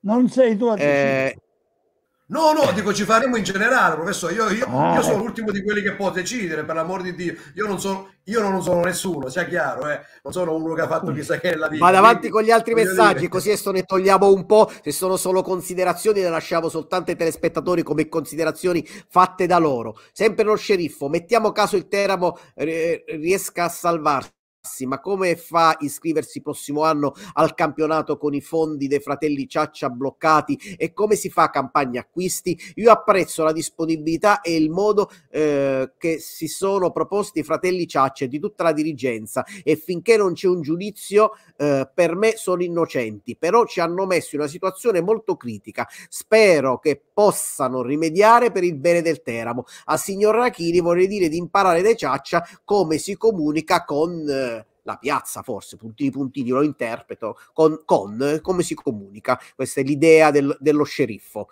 Poi Antonio Valbruni, mister Valbruni, che salutiamo e che ci sta seguendo, colgo l'occasione per inviare i migliori auguri di buon anno al conduttore De Aloisio, grazie mister Valbruni, agli opinionisti Sorgentone e Paoluzzi, al professor Marco Pace e ai graditissimi ospiti, professor Serpentini, che ringrazio per avermi dato la gioia di conservare il mio percorso calcistico nella storia del calcio teramano e il mio amico Costantini. Tanti, eh, tanti trasmissioni insieme, ah, tante trasmissioni insieme, giornalista bravo e competente. Insomma, Ciao, complimenti mister. per tutti da parte del, di mister Valbruni. Poi Lanfranco Core, buon anno a tutti. Non parlo di calcio perché mi sono rotto di vedere e sentire cose che col calcio non hanno niente a che vedere. Salutiamo Lanfranco Core e auguri di buon anno anche a te e continua a seguirci. Insomma, è sempre un nostro affezionato telespettatore. Stefano Muscella, buon anno a tutti. Marco, complimenti per l'albero di Natale, ma avresti messo ma avrei messo due cedrate sullo sfondo. Questo perché Stefano Muscella eh, fa parte del club cedrata, qualcosa del genere, vero Marco? Aspetta che ti riattivi il microfono, vai. Gruppo Cedrata, un... sempre numero uno. Ecco, vedi, Avevo promesso di fare una pezza per il prossimo anno, la faremo, sempre se va tutto bene. Un tuo estimatore. Allora, vado... Ste- Ok, l'hai salutato, si, si è sentito, perfetto. Allora, vado da Adalino di Marcantonio, buon anno nuovo a tutti, grazie Adalino, anche a te buon anno. Poi Francesco Checco Romani, auguri a tutti, Forza Teramo, Chieremateng sempre titolare. Questo è il pensiero di Francesco Checco Romani. Vedo che Andrea sorride, perché sorride Andrea? Sorrido perché ha giocato la prima partita e si è fatto male. È rientrato, è poi con la Reggiana si stava per fare espellere dopo dieci minuti. Sostituito subito, una stagione, insomma, si commenta da sola per ora. Purtroppo. È vero. Vado a un altro messaggio, Roberto Nepa che salutiamo, buon anno a voi tutti, in particolare questa sera un abbraccio virtuale al professor Serpentini, un grande teramano al quale va la mia solidarietà. Professore, la storia non mente mai, forza Teramo, da parte di Roberto Nepa con i complimenti al professor Serpentini. Sempre Paolo Gabriele Balloni ci scrive saluti a tutti, saluto speciale a Marco Pace. Mi piacerebbe avere una sua vignetta Paolo da Corropoli. Marco, finché non fai una vignetta a Paolo da Corropoli, questo ogni domenica, lunedì, ogni volta che andiamo in onda ce lo manderà il messaggio, te lo ricorda Dove, sempre. Invitarlo, Prima o poi gliela dovrai invitarlo. fare, magari in privato, vi incontrate, eh, lo fai sedere su una sedia lo, e gli fai la vignetta. Lo invitiamo. Ok. Lo abbiamo invitato. No, no, aspetta, aspetta. Lo abbiamo avuto ospite, l'abbiamo avuto. Però il patto era, non... il patto era, il patto era che la vignetta gliela consegnavamo a casa, cena sua, casa sua. Quindi mo, per essere precisi ricordiamo le cose, Marco. Mo, Antonio non sì. c'è, eh, quindi... Va bene, allora, la faremo, la faremo. Messaggi. Lanfranco Core, in tutto il mondo non esiste squadra che ha perso così malamente come il Teramo e, co- e, che conserva un allenatore perdente, stendiamo un velo pietoso. Sempre Lanfranco Core, eh, dipendere dalle voglie di un giudice, non voglio pensarci a che punto siamo arrivati. Eh, poi Francesco Checco Romani ah, ci dà la sua ipotetica formazione. Vediamo un po'. Andrea, vediamo se sei d'accordo su questa formazione. Perucchini, Pinto, Soprano, Bellucci, Boa Frascatore, Arrigoni, Forgione, Vitale, Marilungo, D'Andrea. Potrebbe essere questa la nuova formazione del Teramo a gennaio. Andrea, che ne pensi? Te la lascio in sovrimpressione, guarda, l'audio, l'audio, aspetta che te lo rialzo io, eh. Ecco qua, ecco, ecco qua. No, sto, sto, immaginando in campo questa formazione, eh, quindi con Anche Pinto, col modulo, eh. beh, con Pinto, Soprano e Bellucci, Boa Frascatore, Frascatore quinto, no. Frascatore come un, uh, uno dei tre centrali e uno tra, Re, eh, tra André e Rilo, se arriverà qualcun altro, come tutta fascia, sì, tutta fascia Frascatore no. Boa potrebbe avere un senso assolutamente come tutta fascia di destra. Centrocampo con Arrigonia, poi Forgione Vitale, insomma, un po' di incognite, e, e l'ho detto in precedenza. Marilungo D'Andrea mi sembra strano. Beh, io penso che Bernardotto, se non va via, eh, ah, è vero. Qua sarà... ci manca Bernardotto tra Beh, gli 11, è vero. Io, io, uno dei pochi che piglia la sufficienza di domenica io metterei Bernardotto e non Marilungo. Cioè, Bernardotto sicuro, poi Marilungo ed Andrea si giocano l'altro, l'altro posto. L'altro. Probabilmente Marilungo può essere il classico giocatore che dall'alto della sua esperienza riesce anche a entrare a partita in corsa a fare qualcosa. A meno che Francesco Checco Romani non l'ha messo tra i partenti Bernardotto, questo non lo sappiamo. Beh, Qual è stata la sua idea? Beh, non sappiamo. Non, non, non so. l'ha messo sulla panchina. Marilungo d'Andrea così, insomma, non è che mi dia grande... Eh, grande sicurezza e in termini realizzativi, ma anche perché Bernardotto lo si può rimproverare perché non è lucido sotto porta, però non gli si può dire nulla su, sul lavoro che fa e quanto reparto fa eh, già da solo. Quindi è un giocatore che anche per queste caratteristiche lì davanti, se devo fare la guerra, mi serve un attaccante pugnace che, che trascina anche la squadra col suo atteggiamento. Bernardotto è irrinunciabile. Se poi Checco nella sua formazione lo esclude perché ritiene che possa essere un potenziale partente, questo è un altro discorso, però io un posto a Bernardotto lo, lo tengo e, e, possibilmente ci metto dentro D'Andrea che è un giocatore che in Serie D ha dimostrato di avere ottime caratteristiche, in C è ancora da, forse da scoprire fino in fondo, però potrebbe anche esplodere, non ha fatto bene nella prima parte di stagione, magari potrebbe fare qualcosa di positivo a Teramo.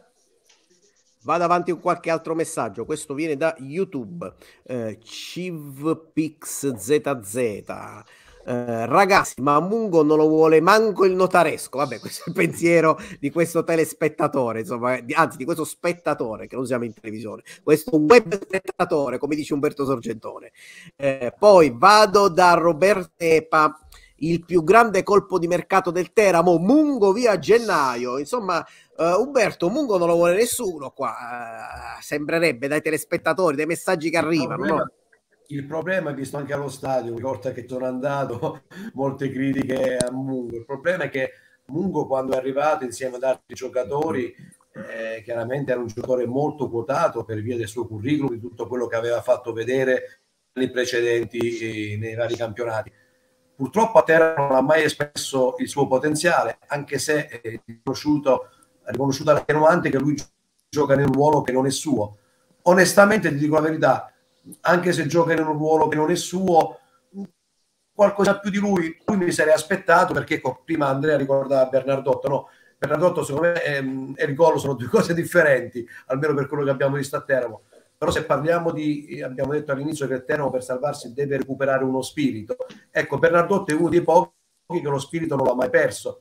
Cioè da uno, stessa cosa anche a rigore, devo dire che al di là diciamo eh, anche il fatto del, della sua espulsione a fine gara perché per espressioni blasfeme.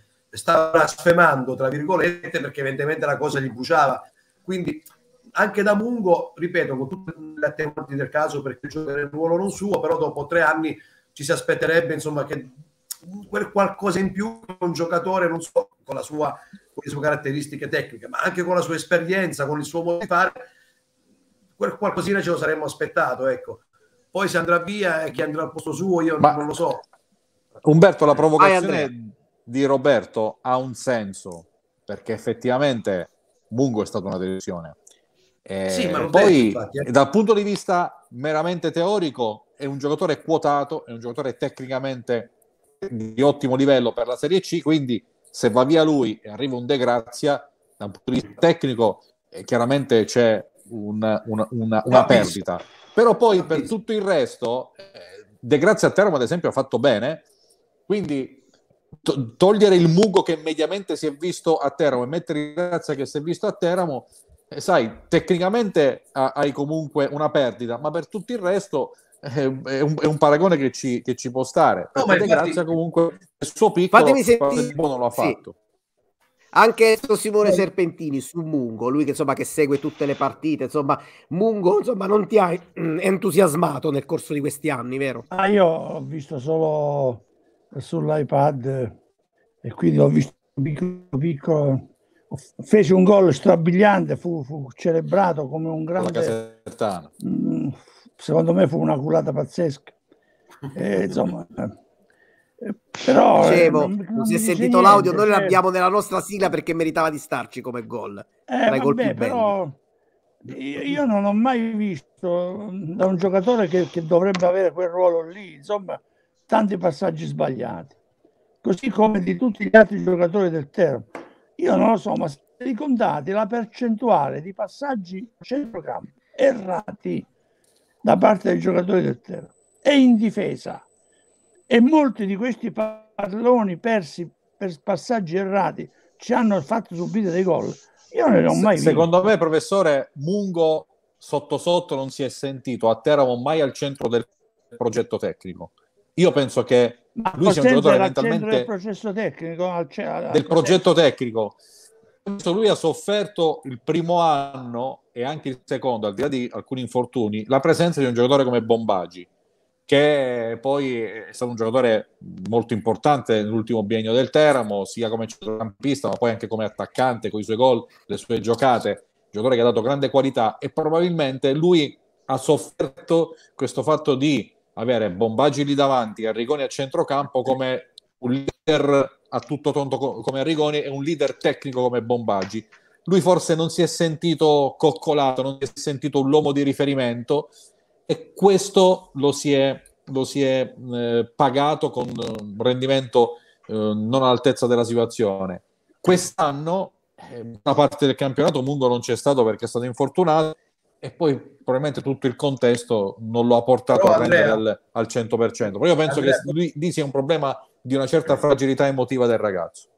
Ah, Però una carattere, dice Andrea, più, una, più che un attenuante è un aggravante secondo me perché intanto il suo ingaggio era da top quindi se tu hai un ingaggio sì. da top devi rendere evidentemente da top perché se io spendo X per una Mercedes eh, non posso avere le prestazioni di un'utilitaria questo è, sia chiaro e poi il fatto che lui magari non si sia sentito al centro ma lui ha giocato sempre con squadre importanti e nelle squadre importanti che vincono Andrea, ci sono sempre 5, 6, 7, 8 giocatori certo. importanti cioè non ce n'è uno solo per cui cioè, se vuoi fare la prima donna all'Etoile, voglio dire, se tu balli alla scala, è chiaro che anche chi sta vicino a te è, è, è ballerino di un certo livello, altrimenti vai a fare il cabaret in provincia e prima donna, voglio dire. Quindi questa più che una, la tua può essere una. una no, no, no, una, ma io, io, non, io non, volevo cercare l'attenuante o l'aggravante, io volevo cercare di capire insieme a voi come mai questo ragazzo in tre anni di tempo ha giocato sempre al di sotto di quelle perché, che erano le aspettative che ci siamo ecco, fatti, ma anche perché lui ha giocato in un certo modo altrove. perché anche a Rigoni non è andato benissimo, soprattutto il primo anno, però poi successivamente l'anno scorso ha giocato bene, quest'anno è uno dei pochi riferimenti che il Teramo certo. fa, insomma voglio dire, alla fine probabilmente andrà via, non lo so io, però comunque il suo l'ha dato, magari ci si aspettava ancora di più, soprattutto il primo anno, però Andrea, io sta storia che è un giocatore che prende un bell'ingaggio importante, e che aveva un triennale, un triennale dell'unico che è rimasto insieme ad Arrigoni, perché gli altri sono andati via. Cioè tu prendi un triennale, io pretendo che almeno sul piano, poi posso capire le stagioni negative che ogni giocatore può avere, come qualsiasi eh, persona può avere nell'ambito lavorativo, però tu qualcosa me lo devi dare, devi dare di più. Ma voi che avete competenza tecnica, perché sbaglia tanti passaggi? Facili anche. E forse perché non è, non è sereno, perché se è un giocatore che ha fatto della qualità tecnica, perché lui non è un, non è un caterpillar, è un giocatore, no. un giocatore che ha, ha, tecnica, ha tecnica nell'ultimo passaggio, il tiro in porta, è uno che sa anche cucire il gioco. Mangano, quindi, quindi, è un giocatore tecnico. Scusami, Se sbaglia molto, forse perché non è sereno. Che gli, che gli mancano gli elementari, perché quando prende la palla no, il pallone gli va almeno 2-3 metri di distanza. Quindi il primo tocco lo sbaglia sempre. Qualche volta c'è allora. un giocatore vicino a 10 metri e invece di darlo al suo compagno lo dà all'avversario. Lui, lui non è un incontrista e non è un giocatore di fisico, non è un giocatore di rottura. Lui ha senso in un campo di calcio con la tecnica e con le giocate di qualità. Quindi se poi sbaglia le giocate di qualità è perché probabilmente non è, non è sereno, di Massimo non, non è sereno e, no, e, poi perché non è sereno io ho provato l'interpretazione, poi ognuno può dare può dare la sua. Allora, vado avanti con gli altri messaggi perché li vorrei esaurire almeno fino ad ora perché ce ne sono veramente tanti. Mi dispiace insomma per chi ci sta seguendo che lasci un messaggio che poi non venga letto, quindi sto accelerando proprio per cercare di leggerli tutti. Massimiliano Chiusaroli, grandissimo Umberto, sei il numero uno, tra l'altro è anche un tuo collega, oltre che essere un grande tifoso del Teramo, che saluto tra l'altro e conosco personalmente. Un saluto quindi a Massimiliano. Poi eh, abbiamo Maurizio Camaione, buonasera a tutti. Due domande. È un amico, come si fa? È un amico, è un collega, è un grande tifoso del Teramo, quindi... Esatto. Allora, vado a Maurizio Camaione. Buonasera a tutti. Due domande. Come si fa a dire che l'uscita di Piacentini si indebolisce la difesa che, ricordo, ha preso 37 gol? Poi sono d'accordo sul fatto di abbassare il monte ingaggio, soprattutto per le vicissitudini che dovremmo affrontare. Credo che la domanda sia una, però, e non due, mi sembra di capire. Allora, eh vado, eh, vabbè, non so Andrea se lo vuoi commentare tu il fatto di, di Piacentini con la eh, difesa che si indebolisce. Eh, eh io effettivamente prima ho detto che se intendiamo un Teramo col 3-5-2 esce Piacentini e il cascatore può avere un senso se il Teramo resta con la difesa a 4, per le caratteristiche che ha Frascatore, è difficile che mh, ci possa essere un grande miglioramento. Questo per quanto riguarda le caratteristiche tecniche dell'uno e dell'altro. Poi Frascatore è un giocatore che ha più esperienza, però Piacentini è un giocatore che è cresciuto molto in questi, in questi anni. È stato sicuramente, e gli allenatori che ha avuto, eh, insomma, lo hanno reso un titolare fisso di questa squadra, il pilastro della difesa. E, e, e se questo questo è successo perché si è dimostrato il giocatore lì dietro più affidabile, da rendimento più continuo, più costante, giocatore che ha avuto anche mercato lo scorso anno e quest'anno. Poi, se il Teramo prende 37 gol, abbiamo detto, eh, Teramo per sia lo scorso anno e anche l'inizio di questa stagione era una squadra solida, eh, una squadra solida nella quale Piacentini aveva il suo perché. I, i 37 gol molti dei quali incassati nella seconda parte del girone d'andata, lo abbiamo detto, è una squadra che, che, si è smarrita per i motivi che abbiamo eh, enunciato. Non, non, si può, diciamo così, eh, far pendere tutto sulla testa di Piacentini, il fatto che abbia preso, preso 30, 37 gol. Ricordiamoci che poi accanto a Piacentini sono cambiati, eh, abbiamo visto Trasciani, abbiamo visto ehm, Soprano, ne abbiamo visti abbiamo tanti, è vero. Eh, lui è stato l'unica costante, e ci sarà un motivo, no? Teramo perde un pilastro della difesa e una fase difensiva Teramo ha, ha visto debilitata perché è stata tutta la squadra che, che è crollata nell'ultimo mese, non, non, certo si può far dipendere tutto ciò da, dal singolo Piacentini. Allora, ti leggo questo messaggio, te lo scrive Pier Giorgio Tamburri. Per Andrea, però Chieri Matenga ha segnato con Castelnuovo in amichevole. non so, ti, ti ricordi? Sì, mi sembra di sì. Allora, sempre Pier Giorgio Tamburri ci dice, con la formazione fatta da Checco siamo in Serie B. Vola alto con quella formazione, insomma, quella fatta ipotetica da Checco Romani. Eh, poi abbiamo... Uh, Papolinovic. Bernardotto è più forte sia di D'Andrea sia di Marilungo, ormai alla frutta. È un po' senza quella alla frutta, però è un po' il pensiero di Andrea Costantini, insomma, che lo preferisce a tutte e due, insomma, Bernardotto, sia D'Andrea che Lungo. Eh, sì. Poi andiamo a eh, Civ Piz ZZ, Marilungo non lo prenderei neanche come vicino di casa, vabbè, non, non gli piace tecnicamente. Poi Luigi Ranalli, via Mungo, Presi, Fetecchie, Ralle, vabbè, insomma, non, eh, non gli piace Mungo a Luigi Ranalli. Poi, sempre Francesco Checcoromari, scrivi che Aland sta imparando da eh, Chieri Mateng. Andrea! Poi, guarda, guarda. Eh, eh, visto che ne parliamo, adesso non so neanche dov'è, però ecco, mm, forse servirebbe più il fratello di, di Nigel, Giovanni, a, al Teramo. Sì, è vero, Poi, vero. È vero che quasi sempre ha fatto gol in D più che in C, però insomma il Teramo dovrebbe fare bingo trovando veramente un nuovo gol. Sarebbe un bel aiuto, è, è ovvio. Allora, poi eh, Roberto Nepa eh, che ci dice Mungovia libera eh, preziose risorse economiche, per quello sarebbe un so colpo. Questo è il pensiero di Roberto Nepa. Sempre Civ Piz Z Bernardotto con un H2 potrebbe essere lo sparacello di Agenore Maurizi. Manca però un infantino. Andrea, ti ricordi sparacello accanto a sì. infantino? Insomma, eh, i sì. movimenti che faceva l'uno per, che faceva eh, sparacello era un giocatore giocatore da battaglia, non era un giocatore raffinato. Sì, era, era poco considerato. Alla, però, ha, dato, ha, fatto un grosso lavoro oscuro, il sì. classico lavoro oscuro ha fatto Sparacello. Sì, sì, sì. Ma ricordo, infatti, ecco, eh, in, in, merito al discorso precedente, D'Andrea che ha delle qualità che deve metterle eh, in mostra, deve, deve esplodere in, in, Serie C, magari una coppia con Bernardotto in un 3-5-2 potrebbe avere, potrebbe avere senso se uno dei due si mette a segnare. Quindi, eh, poi, eh, come sempre, è il campo a parlare, però non sarebbe male vedere questa, questa coppia. Allora, Santiago Scirone ci dice uguale partiti, insomma, tutti loro salutiamo che Paolo Cironi che lungo mi sembra di capire eh, in, eh, in, in, questa fase di stagione insomma dei commenti che arrivano. Vado ad Adalino di Marcantonio. Con Mungo non ci salveremo mai. Giocatore sopravvalutato che non ha né fisico né carattere.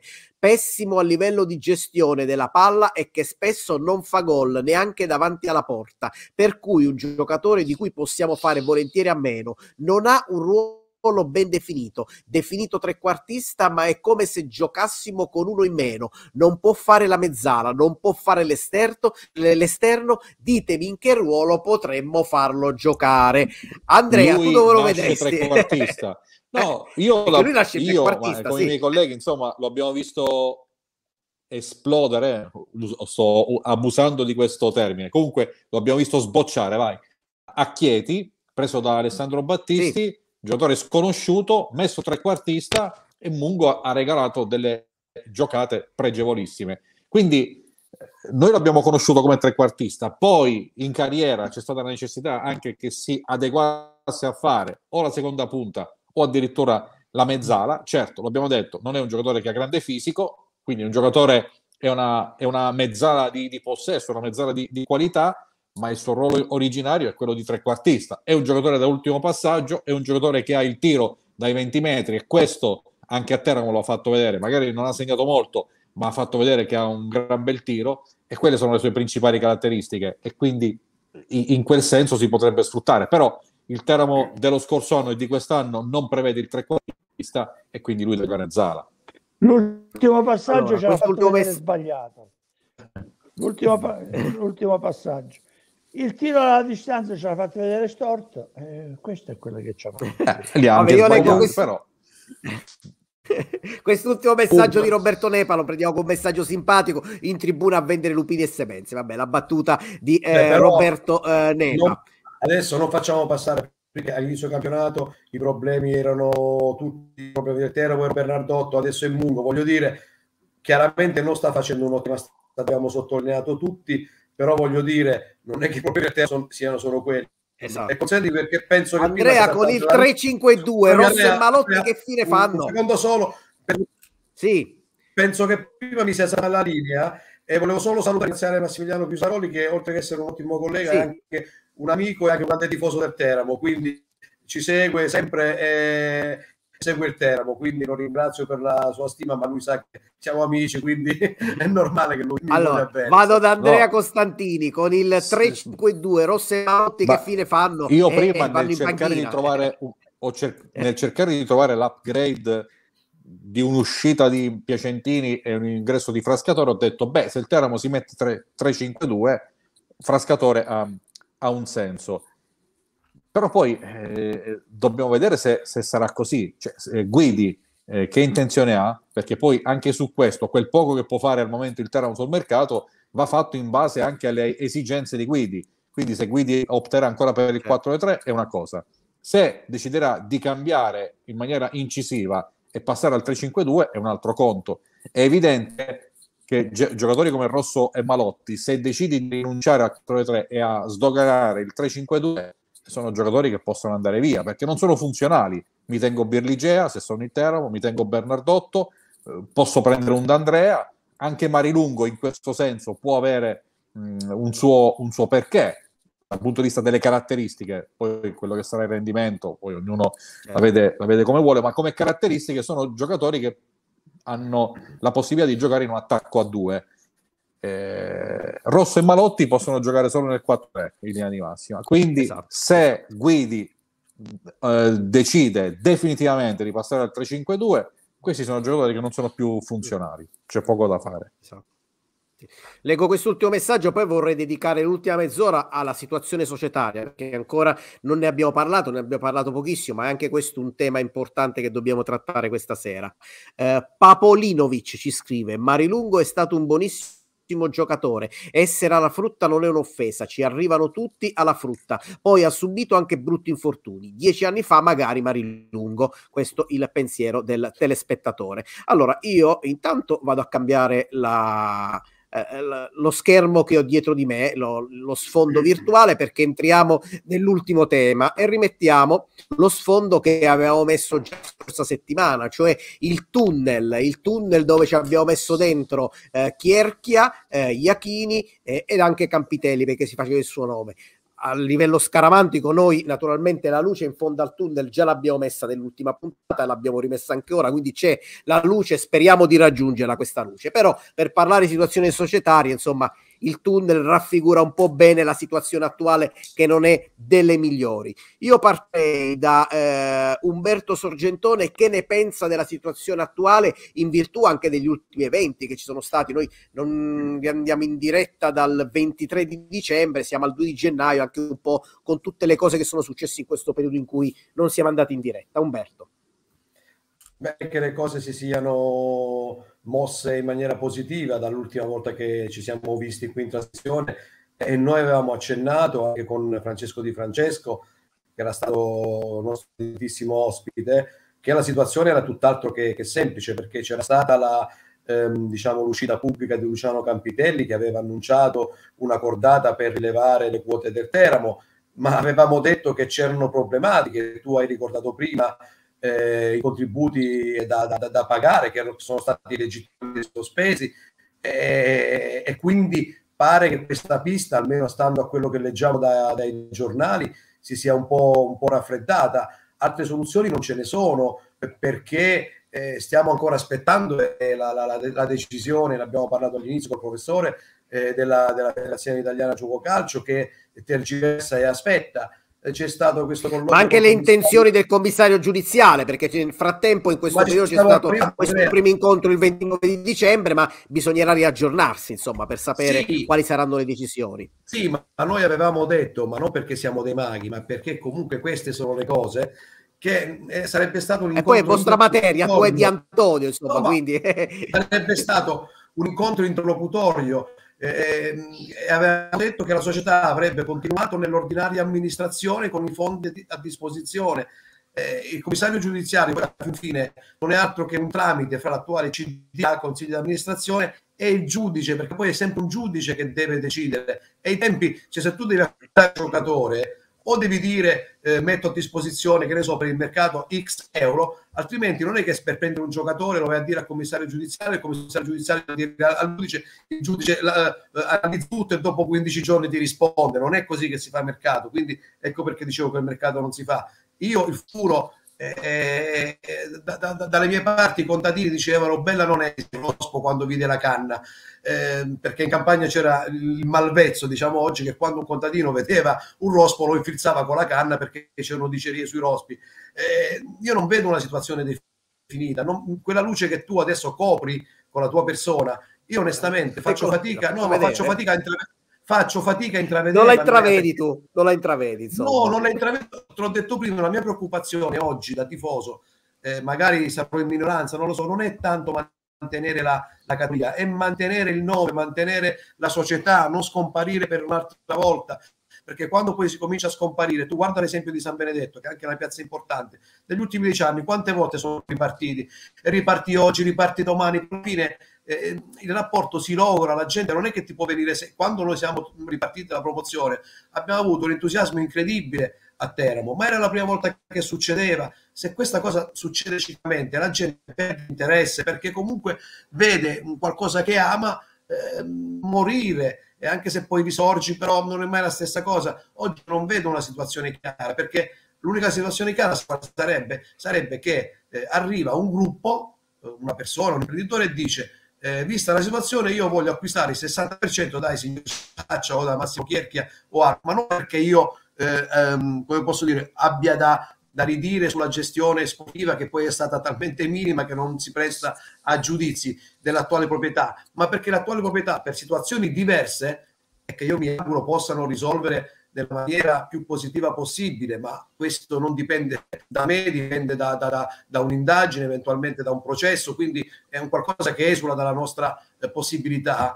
Eh, ma, ma, comunque questa situazione tiene il Teramo, tra virgolette, in ostaggio, legato con le manette, mani e piedi, incaprettato per, per così dire. Per cui l'unica cosa sarebbe questa, se eh, l'ex proprietario del Teramo e attuale socio di minoranza dice, ha detto che vi erano due o tre opzioni per la vendita del Teramo, che lui ha scelto quella che dava più, più ehm, garanzie, ora queste garanzie sono venute meno per fatti strani alla volontà eh, degli acquirenti, per carità, ma fatti che comunque non possono essere sottaciuti perché se c'è un'indagine... La gestione, sì. Ecco, non è che possiamo dire l'indagine, magari l'indagine sarà una bolla di sapone domani, ma questo non lo possiamo sapere noi, sta a noi dirlo perché noi non siamo giudici eh, lo faranno i giudici, gli avvocati difensori. Quindi se, se eh, c'erano queste due o tre opzioni, io penso che il, l'ex proprietario del Teramo avrebbe il dovere morale, morale di eh, fare da ponte, da ponte, da tramite fra questi altri gruppi che volevano acquistare il Teramo e l'attuale proprietà.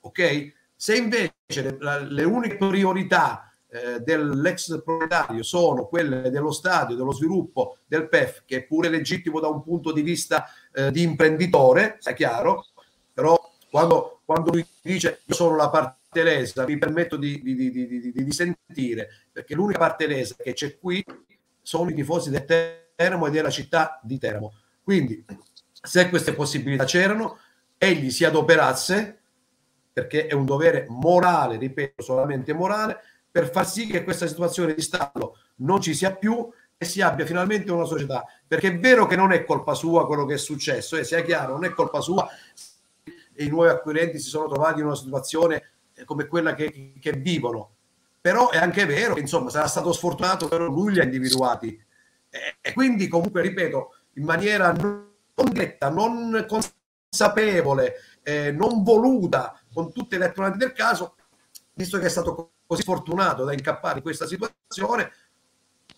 Buon senso, logica e amore per il Teramo vorrebbe che si adoperasse per le altre situazioni ma il discorso è di amore per il Teramo. C'è l'amore per il Teramo? Punto interrogativo.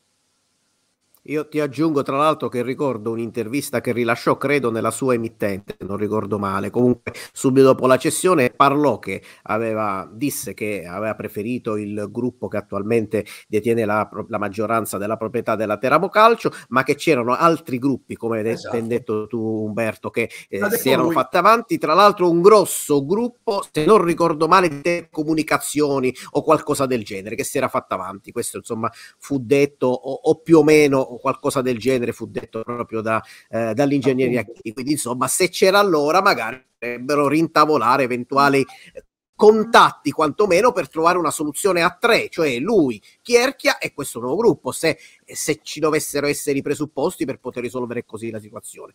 Vorrei sentire Andrea Costantini e poi vado da Elso Simone Serpentini, insomma, che so che ci tiene molto, insomma, anche a parlare di questi argomenti. Andrea. Sì, è chiaro che mh, il ruolo di in questo caso, anche nelle parole di Umberto, dovrebbe essere quello di chi fa un po' di come si dice. Eh, però appunto c'è anche la volontà di chi in questo momento detiene il 60%, perché poi eh, possiamo parlare finché vogliamo, ma il 60% appartiene al gruppo Ciaccia, che possiamo vedere impersonificato nel, nella figura dell'amministratore delegato Massimo Chierchia, quindi si parte da lì.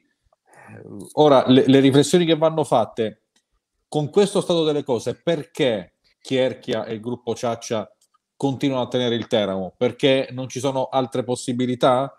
Eh, non ci sono altri interlocutori? Perché ritengono che tenendo duro in questo momento si andrà poi ad una risoluzione della vicenda giudiziaria o magari perché tra qualche tempo ci sarà il dissequestro, poi magari l'inchiesta andrà avanti, però magari ci sarà un dissequestro di, di quelle aziende, tra queste la Edil Green, e magari si potrà tornare a una migliore ordinarietà, perché magari ritengono che hanno agito in maniera corretta e quindi alla fine usciranno eh, puliti da, da, questa vicenda, nel senso che non ci saranno complicazioni, loro sono in questo momento, eh, diciamo così, innocenti per queste nuove, eh, per queste nuove eh, vicende. Mi pare che ci sia anche una condanna per i fratelli Ciaccia in primo grado, comunque non definitiva per un'altra vicenda ancora. Quindi eh, forse in futuro si ritiene, o loro ritengono, di eh, poter uscire indenni e quindi ha senso in questo momento tenere duro e tenere le quote del Teramo perché poi per il futuro si andrà verso l'ordinaria amministrazione. Perché se ci sono queste incertezze, se come ho sentito dire da qualche parte in questo momento forse il pensiero del gruppo Ciaccia è rivolto al cuore delle loro attività e il Teramo in questo momento è un aspetto collaterale, eh, magari eh, questa è una riflessione che faccio, si potrebbe, se questo è vero, bisognerebbe prendere in considerazione da, da parte loro chiaramente, l'idea di, di cedere subito questo 60%, di trovare degli interlocutori, poi che lo faccia Iachini, che è socio di minoranza, o lo facciano loro, però tro- affidare quelle quote a persone che possano gestirle in una maniera più eh, compiuta. Perché se poi all'orizzonte loro eh, ritengono appunto di uscire indenni, allora ripeto, tenere duro ha senso, altrimenti eh, potrebbe essere il momento di, di farsi che, da parte. Che... Poi, no, e chiudo. Questo tutto depurato dalla questione FGC, perché una decisione certo. della Federcalcio, soprattutto qualora fosse un parere negativo, è chiaro che farebbe cadere qualsiasi tipo di discorso perché lì sarebbe chiaro quello che è il, il percorso. Il percorso è quello che è della cessione entro un mese. Eh, queste riflessioni che ho fatto e che immagino stiano facendo anche loro al loro interno, cioè quanto è cruciale ora tenere in piedi la baracca Teramo, tenersi questo 60%, quanto invece è più cruciale badare alla salvaguardia del cuore centrale degli interessi dell'intero gruppo. Ecco, eh, questo ha senso, questo ragionamento, se c'è il sì da parte della, della, della Commissione federale. Quindi ripeto, ballano tante considerazioni, ma c'è questo snodo che prima o poi dovrà essere chiarito, qualcuno dovrà dire qualcosa, dovrà dirlo eh, la società, il, eh, la maggioranza, la minoranza, dovrà dirlo la Federcalcio stessa, qualcuno dovrà chiarire questa vicenda perché molto passa da lì.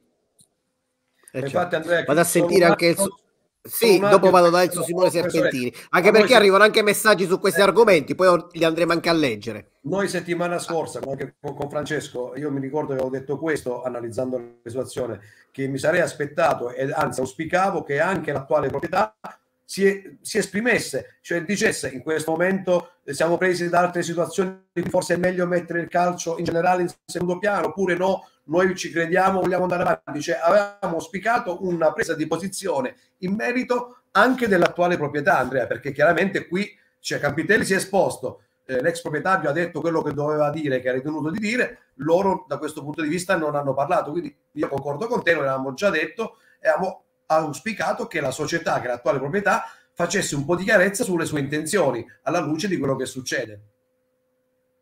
Perché allora, se poi siamo appresso sì. alla, a, a, quello che può dire l'amministratore giudiziario, l'amministratore giudiziario io penso che eh, non, questo è chiaramente un mio pensiero, poi dopo staremo a vedere quello che accadrà, però ritengo inverosimile che un amministratore giudiziario possa consentire di liberare chissà quali risorse, perché queste risorse, in, cioè, se arrivano, se partono da società che sono coinvolte nel, nell'inchiesta, anche se Teramo Calcio è fuori, ma eh, liberare queste risorse eh, così in, in, un tale contesto m- mi sembra molto difficile. Ora saranno prodotti documenti che ha ulteriormente richiesto l'amministratore giudiziario, ma è difficile che in, in una dinamica del genere l'amministratore che deve cercare di, di, tenere la situazione senza far esporre quelle eh, società a, a operazioni, eh, diciamo così, al di fuori dell'ordinaria amministrazione, mi sembra difficile. Se, se le decisioni strategiche del Teramo, anche in fatto di mercato, dipendono da quello che dice l'amministratore giudiziario su una delle aziende coinvolte, eh, va da sé che, che, è molto difficile andare avanti, eh, anche perché eh, sappiamo che il Teramo ha dei crediti in Lega che hanno consentito anche il pagamento delle ultime mensilità, ma non c'è ancora non c'è più tanta benzina e probabilmente eh, le disponibilità eh, non, non, supereranno l'inverno se non c'è un'ulteriore immissione. Quindi eh, si torna sempre lì, l'abbiamo detto dall'inizio trasmissione e continuiamo a ripeterlo, va fatta chiarezza su quella che è la consistenza ehm, e la forza della società in questo momento, perché altrimenti eh, sono tutti discorsi che diventano evanescenti. Allora, vado da Enzo Simone Serpentini. Andrea, eh, avrai notato che questa sera ho fatto di tutto per contenere la mia rabbia, perché se avessi voluto dare libero sfogo alla mia rabbia, sarei stato pubblico ministero, testimone, giudice, esecutore, boia.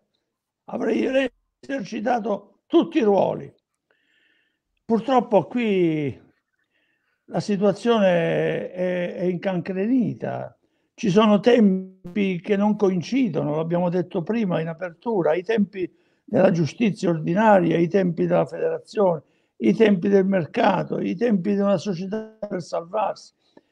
C'è gente che dovrebbe dire e non dice, dovrebbe parlare e non parla. Noi, no, noi non abbiamo notizie, noi in fondo non abbiamo elementi. E sulla base di quali elementi potremmo dire? Vedi che anche eh, Umberto, giornalista, si arrampicano sugli specchi per tentare di fare delle ipotesi. Qui c'è stato del denaro che è corso da un soggetto all'altro e ha, ha comprato 60% di quote. Questo 60% di quote consentirebbe ad una società di operare se, però c'è se. È uscita la carta del baratto, eh, nella carta dei, dei tarocchi c'è il baratto, che a un certo punto eh, è il matto, quello che sfascia tutto, e noi abbiamo, vedi, l'ipotesi che fa Sorgentone è pericolosa, perché lui dice ci vorrebbe un altro, un altro soggetto ancora ci vuoi mettere qua in questa commedia. Cioè, se tu ci metti un altro, hai visto la parte che ha dovuto fare Campitelli, no? Che appena appena ha allungato il ditino, tac, gliel'hanno tagliato. Perché Luciano si è tirato indietro, perché lo hanno scaricato ancora un'altra volta. Quando nel 19 fu sottratta, fu sottratta la squadra a Campitelli, dicendo che lui non era in grado, glielo dissero i tifosi e glielo dissero altri, di continuare a gestirla, dandogli poi delle colpe che non meritava, ci fu una clausola scritta. Campitelli si impegnò per tre anni a non fare più vero, calcio. Vero, Lo sapete vero. questo? Sì, sì, Sì, sì, conferma. si impegnò per tre anni Lo so a da non allora. occuparsi- a non occuparsi più di calcio. Mo stanno per scadere i tre anni, quindi potrebbe rioccuparsi di calcio, però continuano a non volerlo. Appena poco poco ha fatto la proposta, tac, gli hanno tagliato il dito. Quindi ci sarà stato sicuramente un qualche incontro nel corso del quale gli sarà stato detto tu fatteli fatta tu. Hai capito? Oh. Allora, mo tu dici c'è un soggetto B, C che saranno i piani di questo. Non so, un altro soggetto. Allora, se tu adesso chiami in partita un altro soggetto, noi qua facciamo alla fine sei personaggi in cerca d'autore, facciamo pirattelli, perché alla fine saranno sei i personaggi non ci si capisce più niente, già non ci si capisce così. Tra stadio, non stadio, PEF, non PEF, l'accoppiata. Di quello abbiamo capito tutto, questo, di quello si è capito tutto però. Eh. No, c'è ancora molto da capire. C'è ah, ancora ah, pure ancora? Mm, secondo me c'è ancora molto da capire.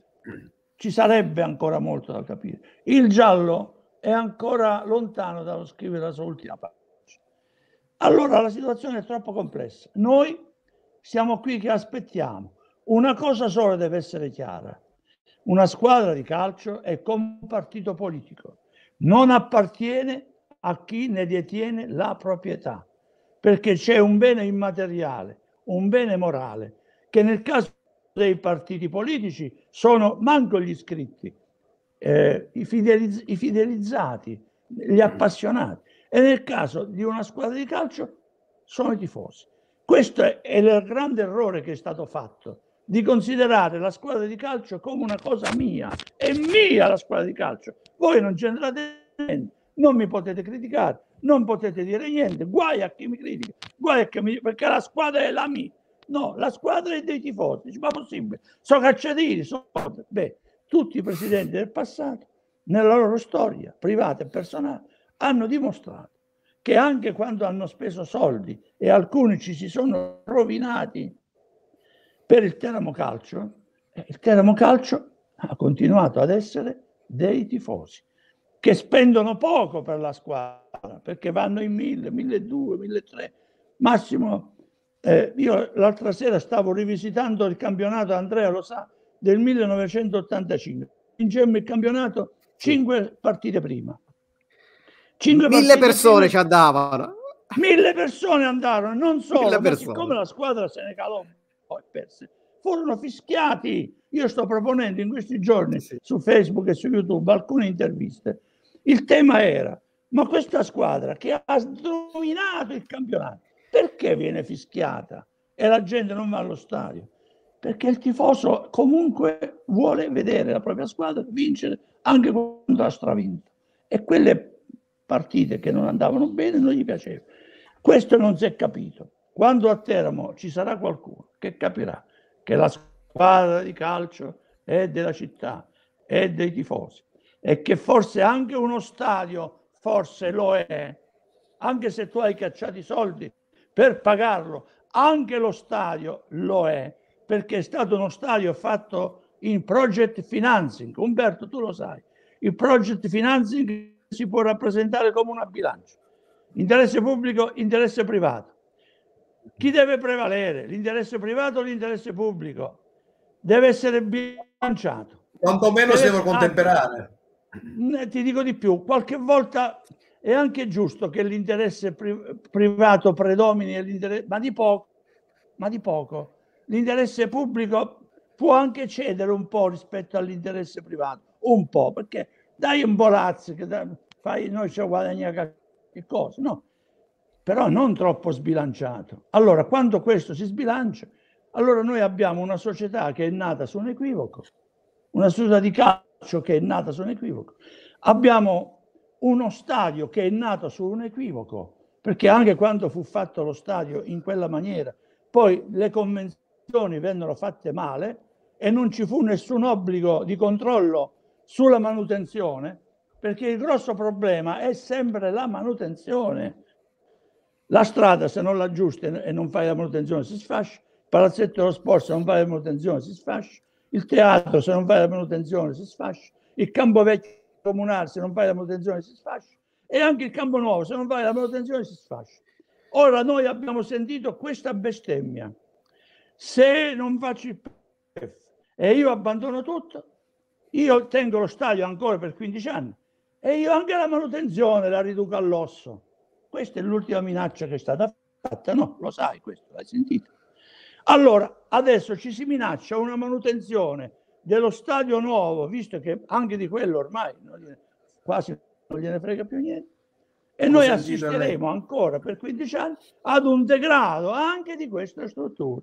Quindi torneremo a cantagallizzare lo stadio perché Candagalli questo fa, ha fatto, se ne è fregato lo stadio. No? Torneremo alla situazione Candagallidiana e il presidente pro tempore della Teramo Calcio caccerà 200-300 mila euro all, all, all'anno per poter giocare. E chi ha svenato Campitelli è stato questo, tu lo sai. Perché si è svenato Campitelli? Perché doveva cacciare ogni anno una frega di soldi per, per affittare lo Stato. Qualche contratto Sono stato lungo, Andrea, ma alla fine ho la rabbia, ma poi mi è venuta fuori un po', capito? Mi è scappata di mano. E come un cane al guinzaglio, anche io ho un cane, la mia, la mia rabbia è, è, il mio cane. C'ho il guinzaglio, mi è il guinzaglio e mi sono scappato. Di qua, dove sta? Ma tieni al chiappa sta Comunque, professore, io auspicavo, io auspicavo l'intervento di qualcuno non per intorbidire ancora di più le acque, che già sono torbide come eh. un lago. Io auspicavo, lo so, è utopia questo, auspicavo, sono, sono un sognatore, che arrivasse qualcuno e dicesse, vabbè, ok, io voglio il Teramo, lo volevo prima, lo voglio pure adesso, quanto hai pagato tu eh, per prendere questo? X, va bene, io ti ridò X, Oh, poi più o meno non voglio entrare sulle questioni sì, ma poi se arriva qualcuno che tu gli dici ma la camorra che cos'è? È uno stile di vita e sei fregato. Eh, vabbè, ma no, una scelta di vita, non uno stile, una scelta, mi sembra di ricordare, vero peggio, È peggio, è peggio. Se avessi sì, detto ma, uno stile ma... si sarebbe salvato. Disse una scelta, è sbagliato. Prima o poi, presto prima o poi quando avremo... Mi sembra di ricordare di... così.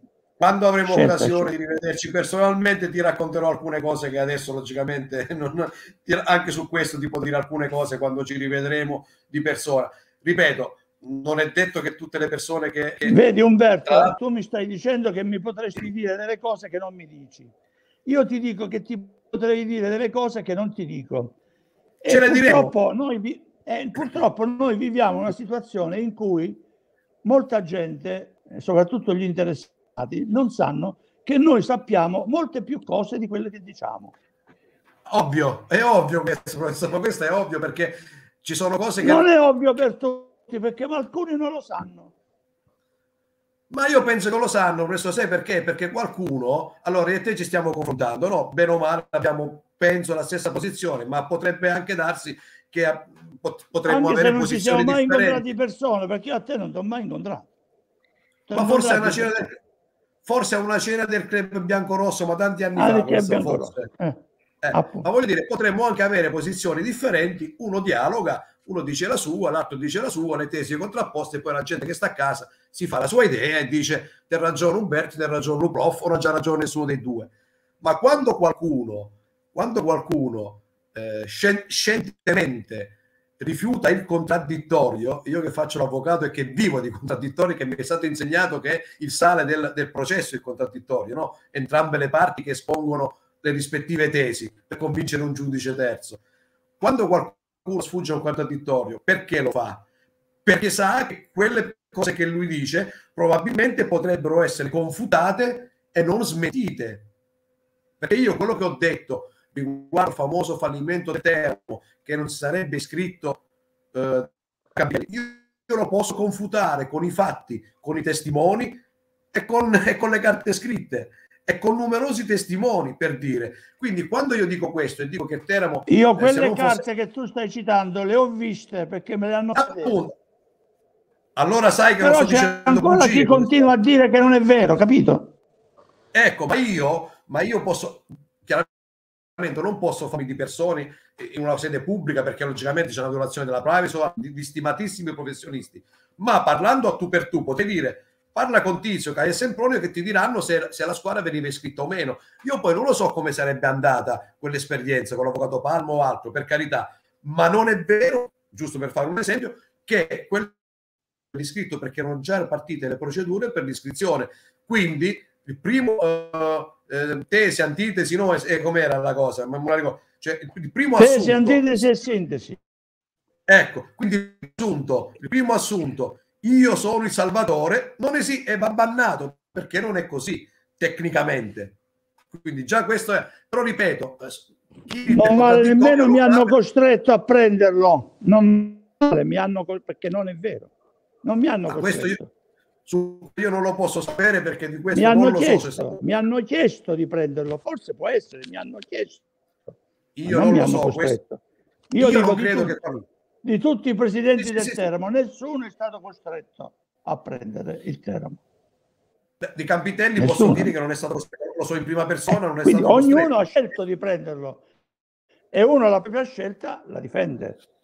Poi se ne pente, se ne, pente, se ne può uno pentire, capito? C'è chi se ne è pentito. Come tutte le scelte che facciamo nella vita, può darsi, faccia, quando noi dobbiamo fare una scelta, per so che cosa facciamo? Valutiamo i pro e i contro. Un imprenditore che cosa fa?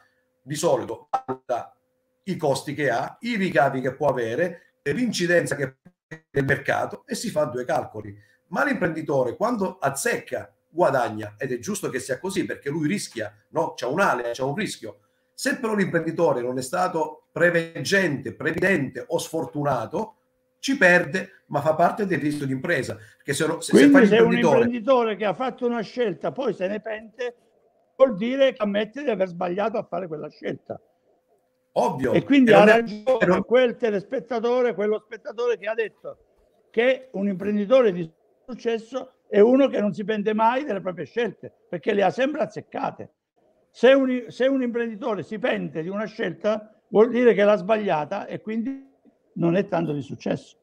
No, voglio dire, ci può stare anche sbagliare una scelta nella vita, insomma, ognuno di noi ha una scelta però ne, ne, devi uscire con un certo modo sapendo che se hai fatto un investimento sbagliato ne, ne, esci con una perdita, cerchi di limitare le perdite, ma comunque se hai fatto un errore, quell'errore va pagato. L'imprenditore misura in soldi e quindi perderà dei soldi.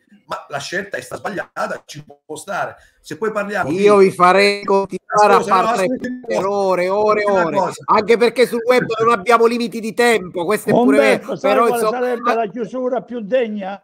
quella con, la quale chiuse, quella con la quale chiuse la sua vita l'imperatore Augusto. Le ultime parole di Augusto, prima di morire, disse la commedia è finita. È finita.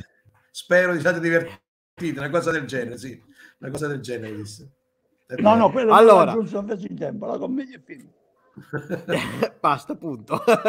allora, prima di andare alla vignetta di Marco Pace, eh, gusto, con Andrea Costantini che vi ha ascoltato in rigoroso silenzio, quindi devo ridare anche la parola ad Andrea. Leggo qualche altro messaggio perché nel frattempo la gente ha continuato a scrivere, però li leggo veramente in maniera molto veloce perché altrimenti veramente andiamo troppo lunghi. Eh, Maurizio Camaioni Iachini l'altro giorno ha dichiarato che i tifosi possono stare tranquilli perché la società non è allo sbando e sempre secondo lui c'è un piano B ed un piano C per la salvaguardia della società. Cosa c'è di vero? Eh beh, noi siamo in attesa. Andrea, tu sai qualcosa di questi piani B, piani no, C, che, qualcosa, che, no? che, ci siano delle interlocuzioni con altri gruppi, eh, questo è chiaro, però eh, poi da, tra l'interlocuzione, una trattativa vera e propria e una chiusura, eh, eh, ce ne passa, anche perché abbiamo saputo che anche con i Ciaccia i con...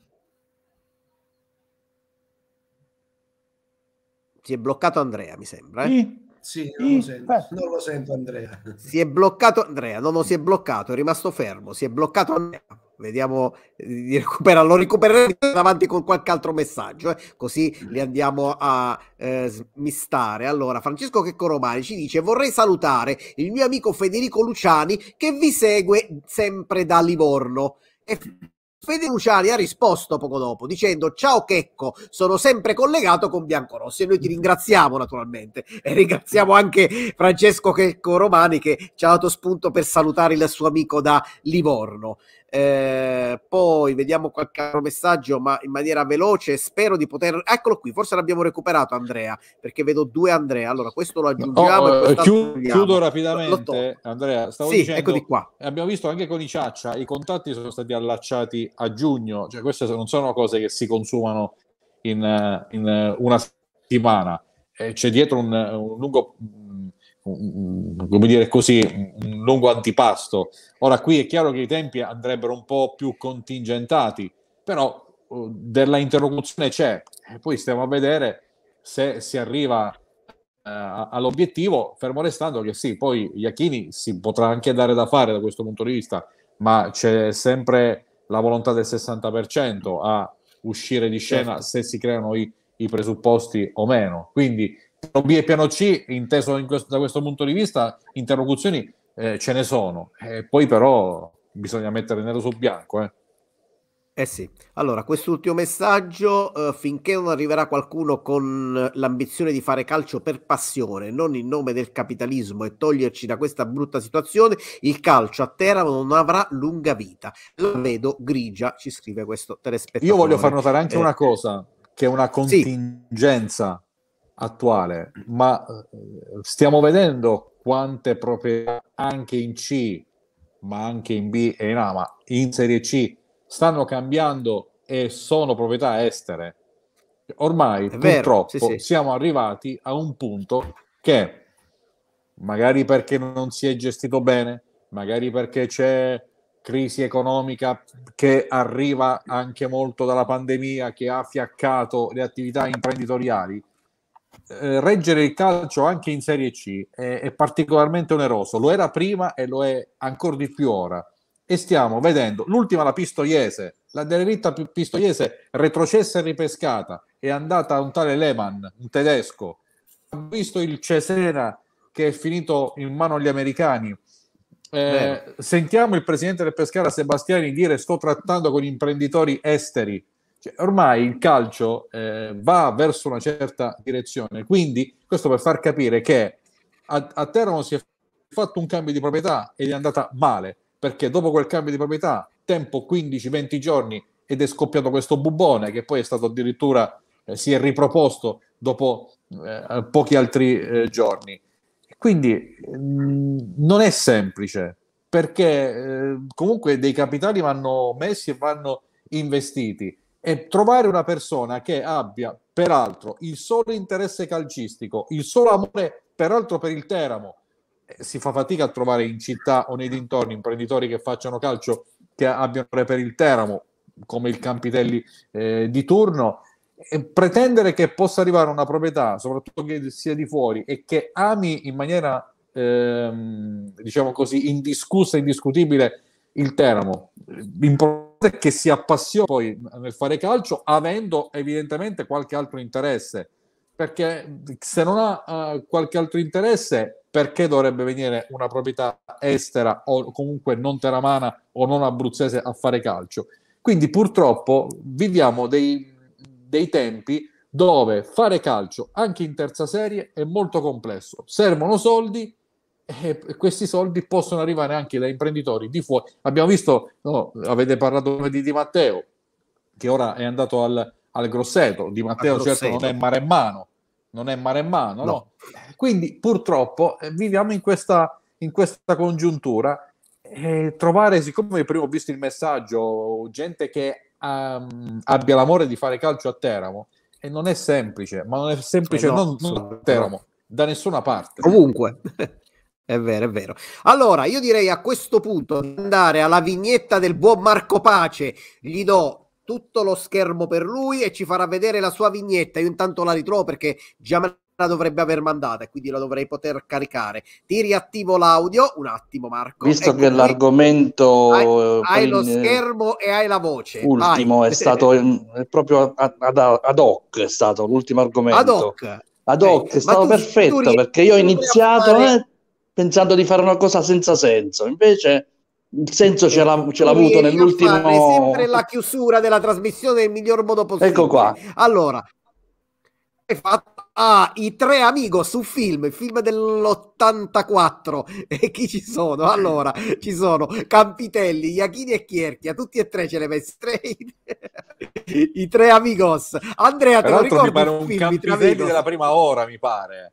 Mi pare sia una foto di un Campitelli 2008-2009 cioè il vecchio stile di Campitelli che poi ha, ha eh svoltato eh sì, da un punto eh... di vista dell'immagine o no? Chiedo a Umberto che è il più esperto su, su, su questo. Quella con l'abitino rosso con la B. Eh, non, portava ancora il papi, non portava ancora il papillon rosso. Io tanto la ritrovo così la vediamo a schermo pieno. Ora e comunque Campitelli saltella, ho visto che lo, l'hai fatto saltellante comunque Campitelli. Eh. Sì, perché lui è un po' più vedi come loro hanno il terreno, sono, sono poggiati e lui saltella perché è un po' più piccolino, chiaramente. Allora, Aspetta che ritrovo il file che vi Saltella anche perché ha voglia, vorrebbe. eccola, qua, eccola qua la vignetta, ce l'abbiamo. Ecco. Eccola qui a schermo pieno, I Tre Amigos, il film dell'84 dire... dovremmo... Eccola qui, fermi tutti. Ecco, guarda, qui la, la, la, locandina e guarda i Chiaramente riveduta e corretta, eh, chiaramente. certo, certo. Identici, no? Umberto, Se che può essere dire? utile per far tornare i Campitelli, ben venga la vignetta allora, eh, che sono un fan no, di, volevo... del press. Volevo spendere Steve Martin era tra i tre a... Sì volevo spendere due parole sul lavoro di Marco Pace. Allora, Marco Pace, quando io l'ho conosciuto, come tutti sapete, eh, cioè Marco faceva prima che lo conoscessi, era bravissimo nel fare eh, le, le, le, vignette, i ritratti caricaturali delle persone. Eh, eh, eh, ne sa qualcosa Elso Simone Serpentini perché ha cominciato con Elso a gol Marco eh? quindi sì. Elso lo conosce esatto. benissimo Marco Pace esatto e ho scoperto che tra i vari personaggi che si mh, succedeva agli studi televisivi, tra i quali anche sottoscritto, c'era una, una competizione a chi ne avesse di più di, di, di lauree di Marco. sì. Io stesso, vero, nel mio piccolo, io stesso nel mio piccolo, in tre diversi periodi ne ho tre di caricatori, quindi mi sento un privilegiato e un fortunato.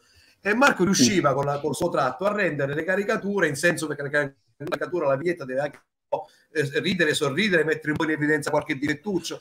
E lui era bravissimo a farlo. Poi però quando abbiamo fatto uh, questo gruppo di pazzi qui con te a Biancorossi, abbiamo parlando insieme di affidare a Marco un altro compito, cioè di fare il sunto con la sua vignetta del, della discussione, della, eh, della trasmissione. E lui ha accettato, è stato intanto è stato molto umile perché ha accettato eh, di, di, cambiare un suo modo di fare, quindi di mettersi in gioco ma devo dire che a volte ne parliamo, a volte fa direttamente lui perché siamo un gruppo, eccetera. Ma devo dire che lui è riuscito a, a non solo riesce a cogliere perfettamente diciamo, il succo, quindi un'immagine, due ore di chiacchiere, ma eh, anche il suo tratto, eh, so, anche se vedete le altre locandine, no? quando fa anche i personaggi, no? È sempre quel, quel, un po' di grottesco, un po' di beffardo, di sardonico, quel qualcosina, insomma, cioè, di cattivello, di pungente, che ci deve essere nella, nella satira. Però i suoi personaggi comunque sono sempre buoni, se voi li vedete, quasi sempre sorridono. Quindi è importante cioè, che, che, anche nel prendere in giro, perché dai, la satira un po' prende in giro, no? E caricaturizza, però lui i personaggi fa sempre umani, sempre sorridenti, quindi a, a questo tono. E anche, no, la verità, e anche oggi riesce, poi a parte, io non entro nel merito artistico perché io ho visto Pensare che pensare che con Serpentini ho sostituito Perilli, che è un gigante. Eh, Quindi io vero, ero piccolo piccolo, ho iniziato con questa, questa paura di dover sostituire Perilli. Insomma, era... pure che ringrazio Umberto, gentilissimo. Adesso gli chiede al professore se supera Pova. No, deve dire anche che le prime vignette gliele bocciai. Ah, pure. è migliorato allora, sì. Elso, sicuramente. No, no, no, no, no, costringe a cambiare stile, cioè, lo ah, convinzi, no? Sì. lo convinzi a cambiare stile. Vero, e poi vero, fece il suo capolavoro quando, quando le riproporrò perché ho ritrovato alcune cassette. Ti ricordi le avventure di Ciccione, il cronista di pallone? C'hai ancora le cassette di quelle? Sì, non mi facessi parlare con Francesco per un anno. per un anno non mi parlò. Il cronista di pallone, le riproporrò solo su Lui fece, e lui le seguirò volentieri. Le vignette. Io facevo i testi e lui le vignette. Questo, ma onestamente... E la voce era quella di Clem Cimini, mi sembra. Le, la, era quella la di Clem Cimini che le, la sì. leggeva.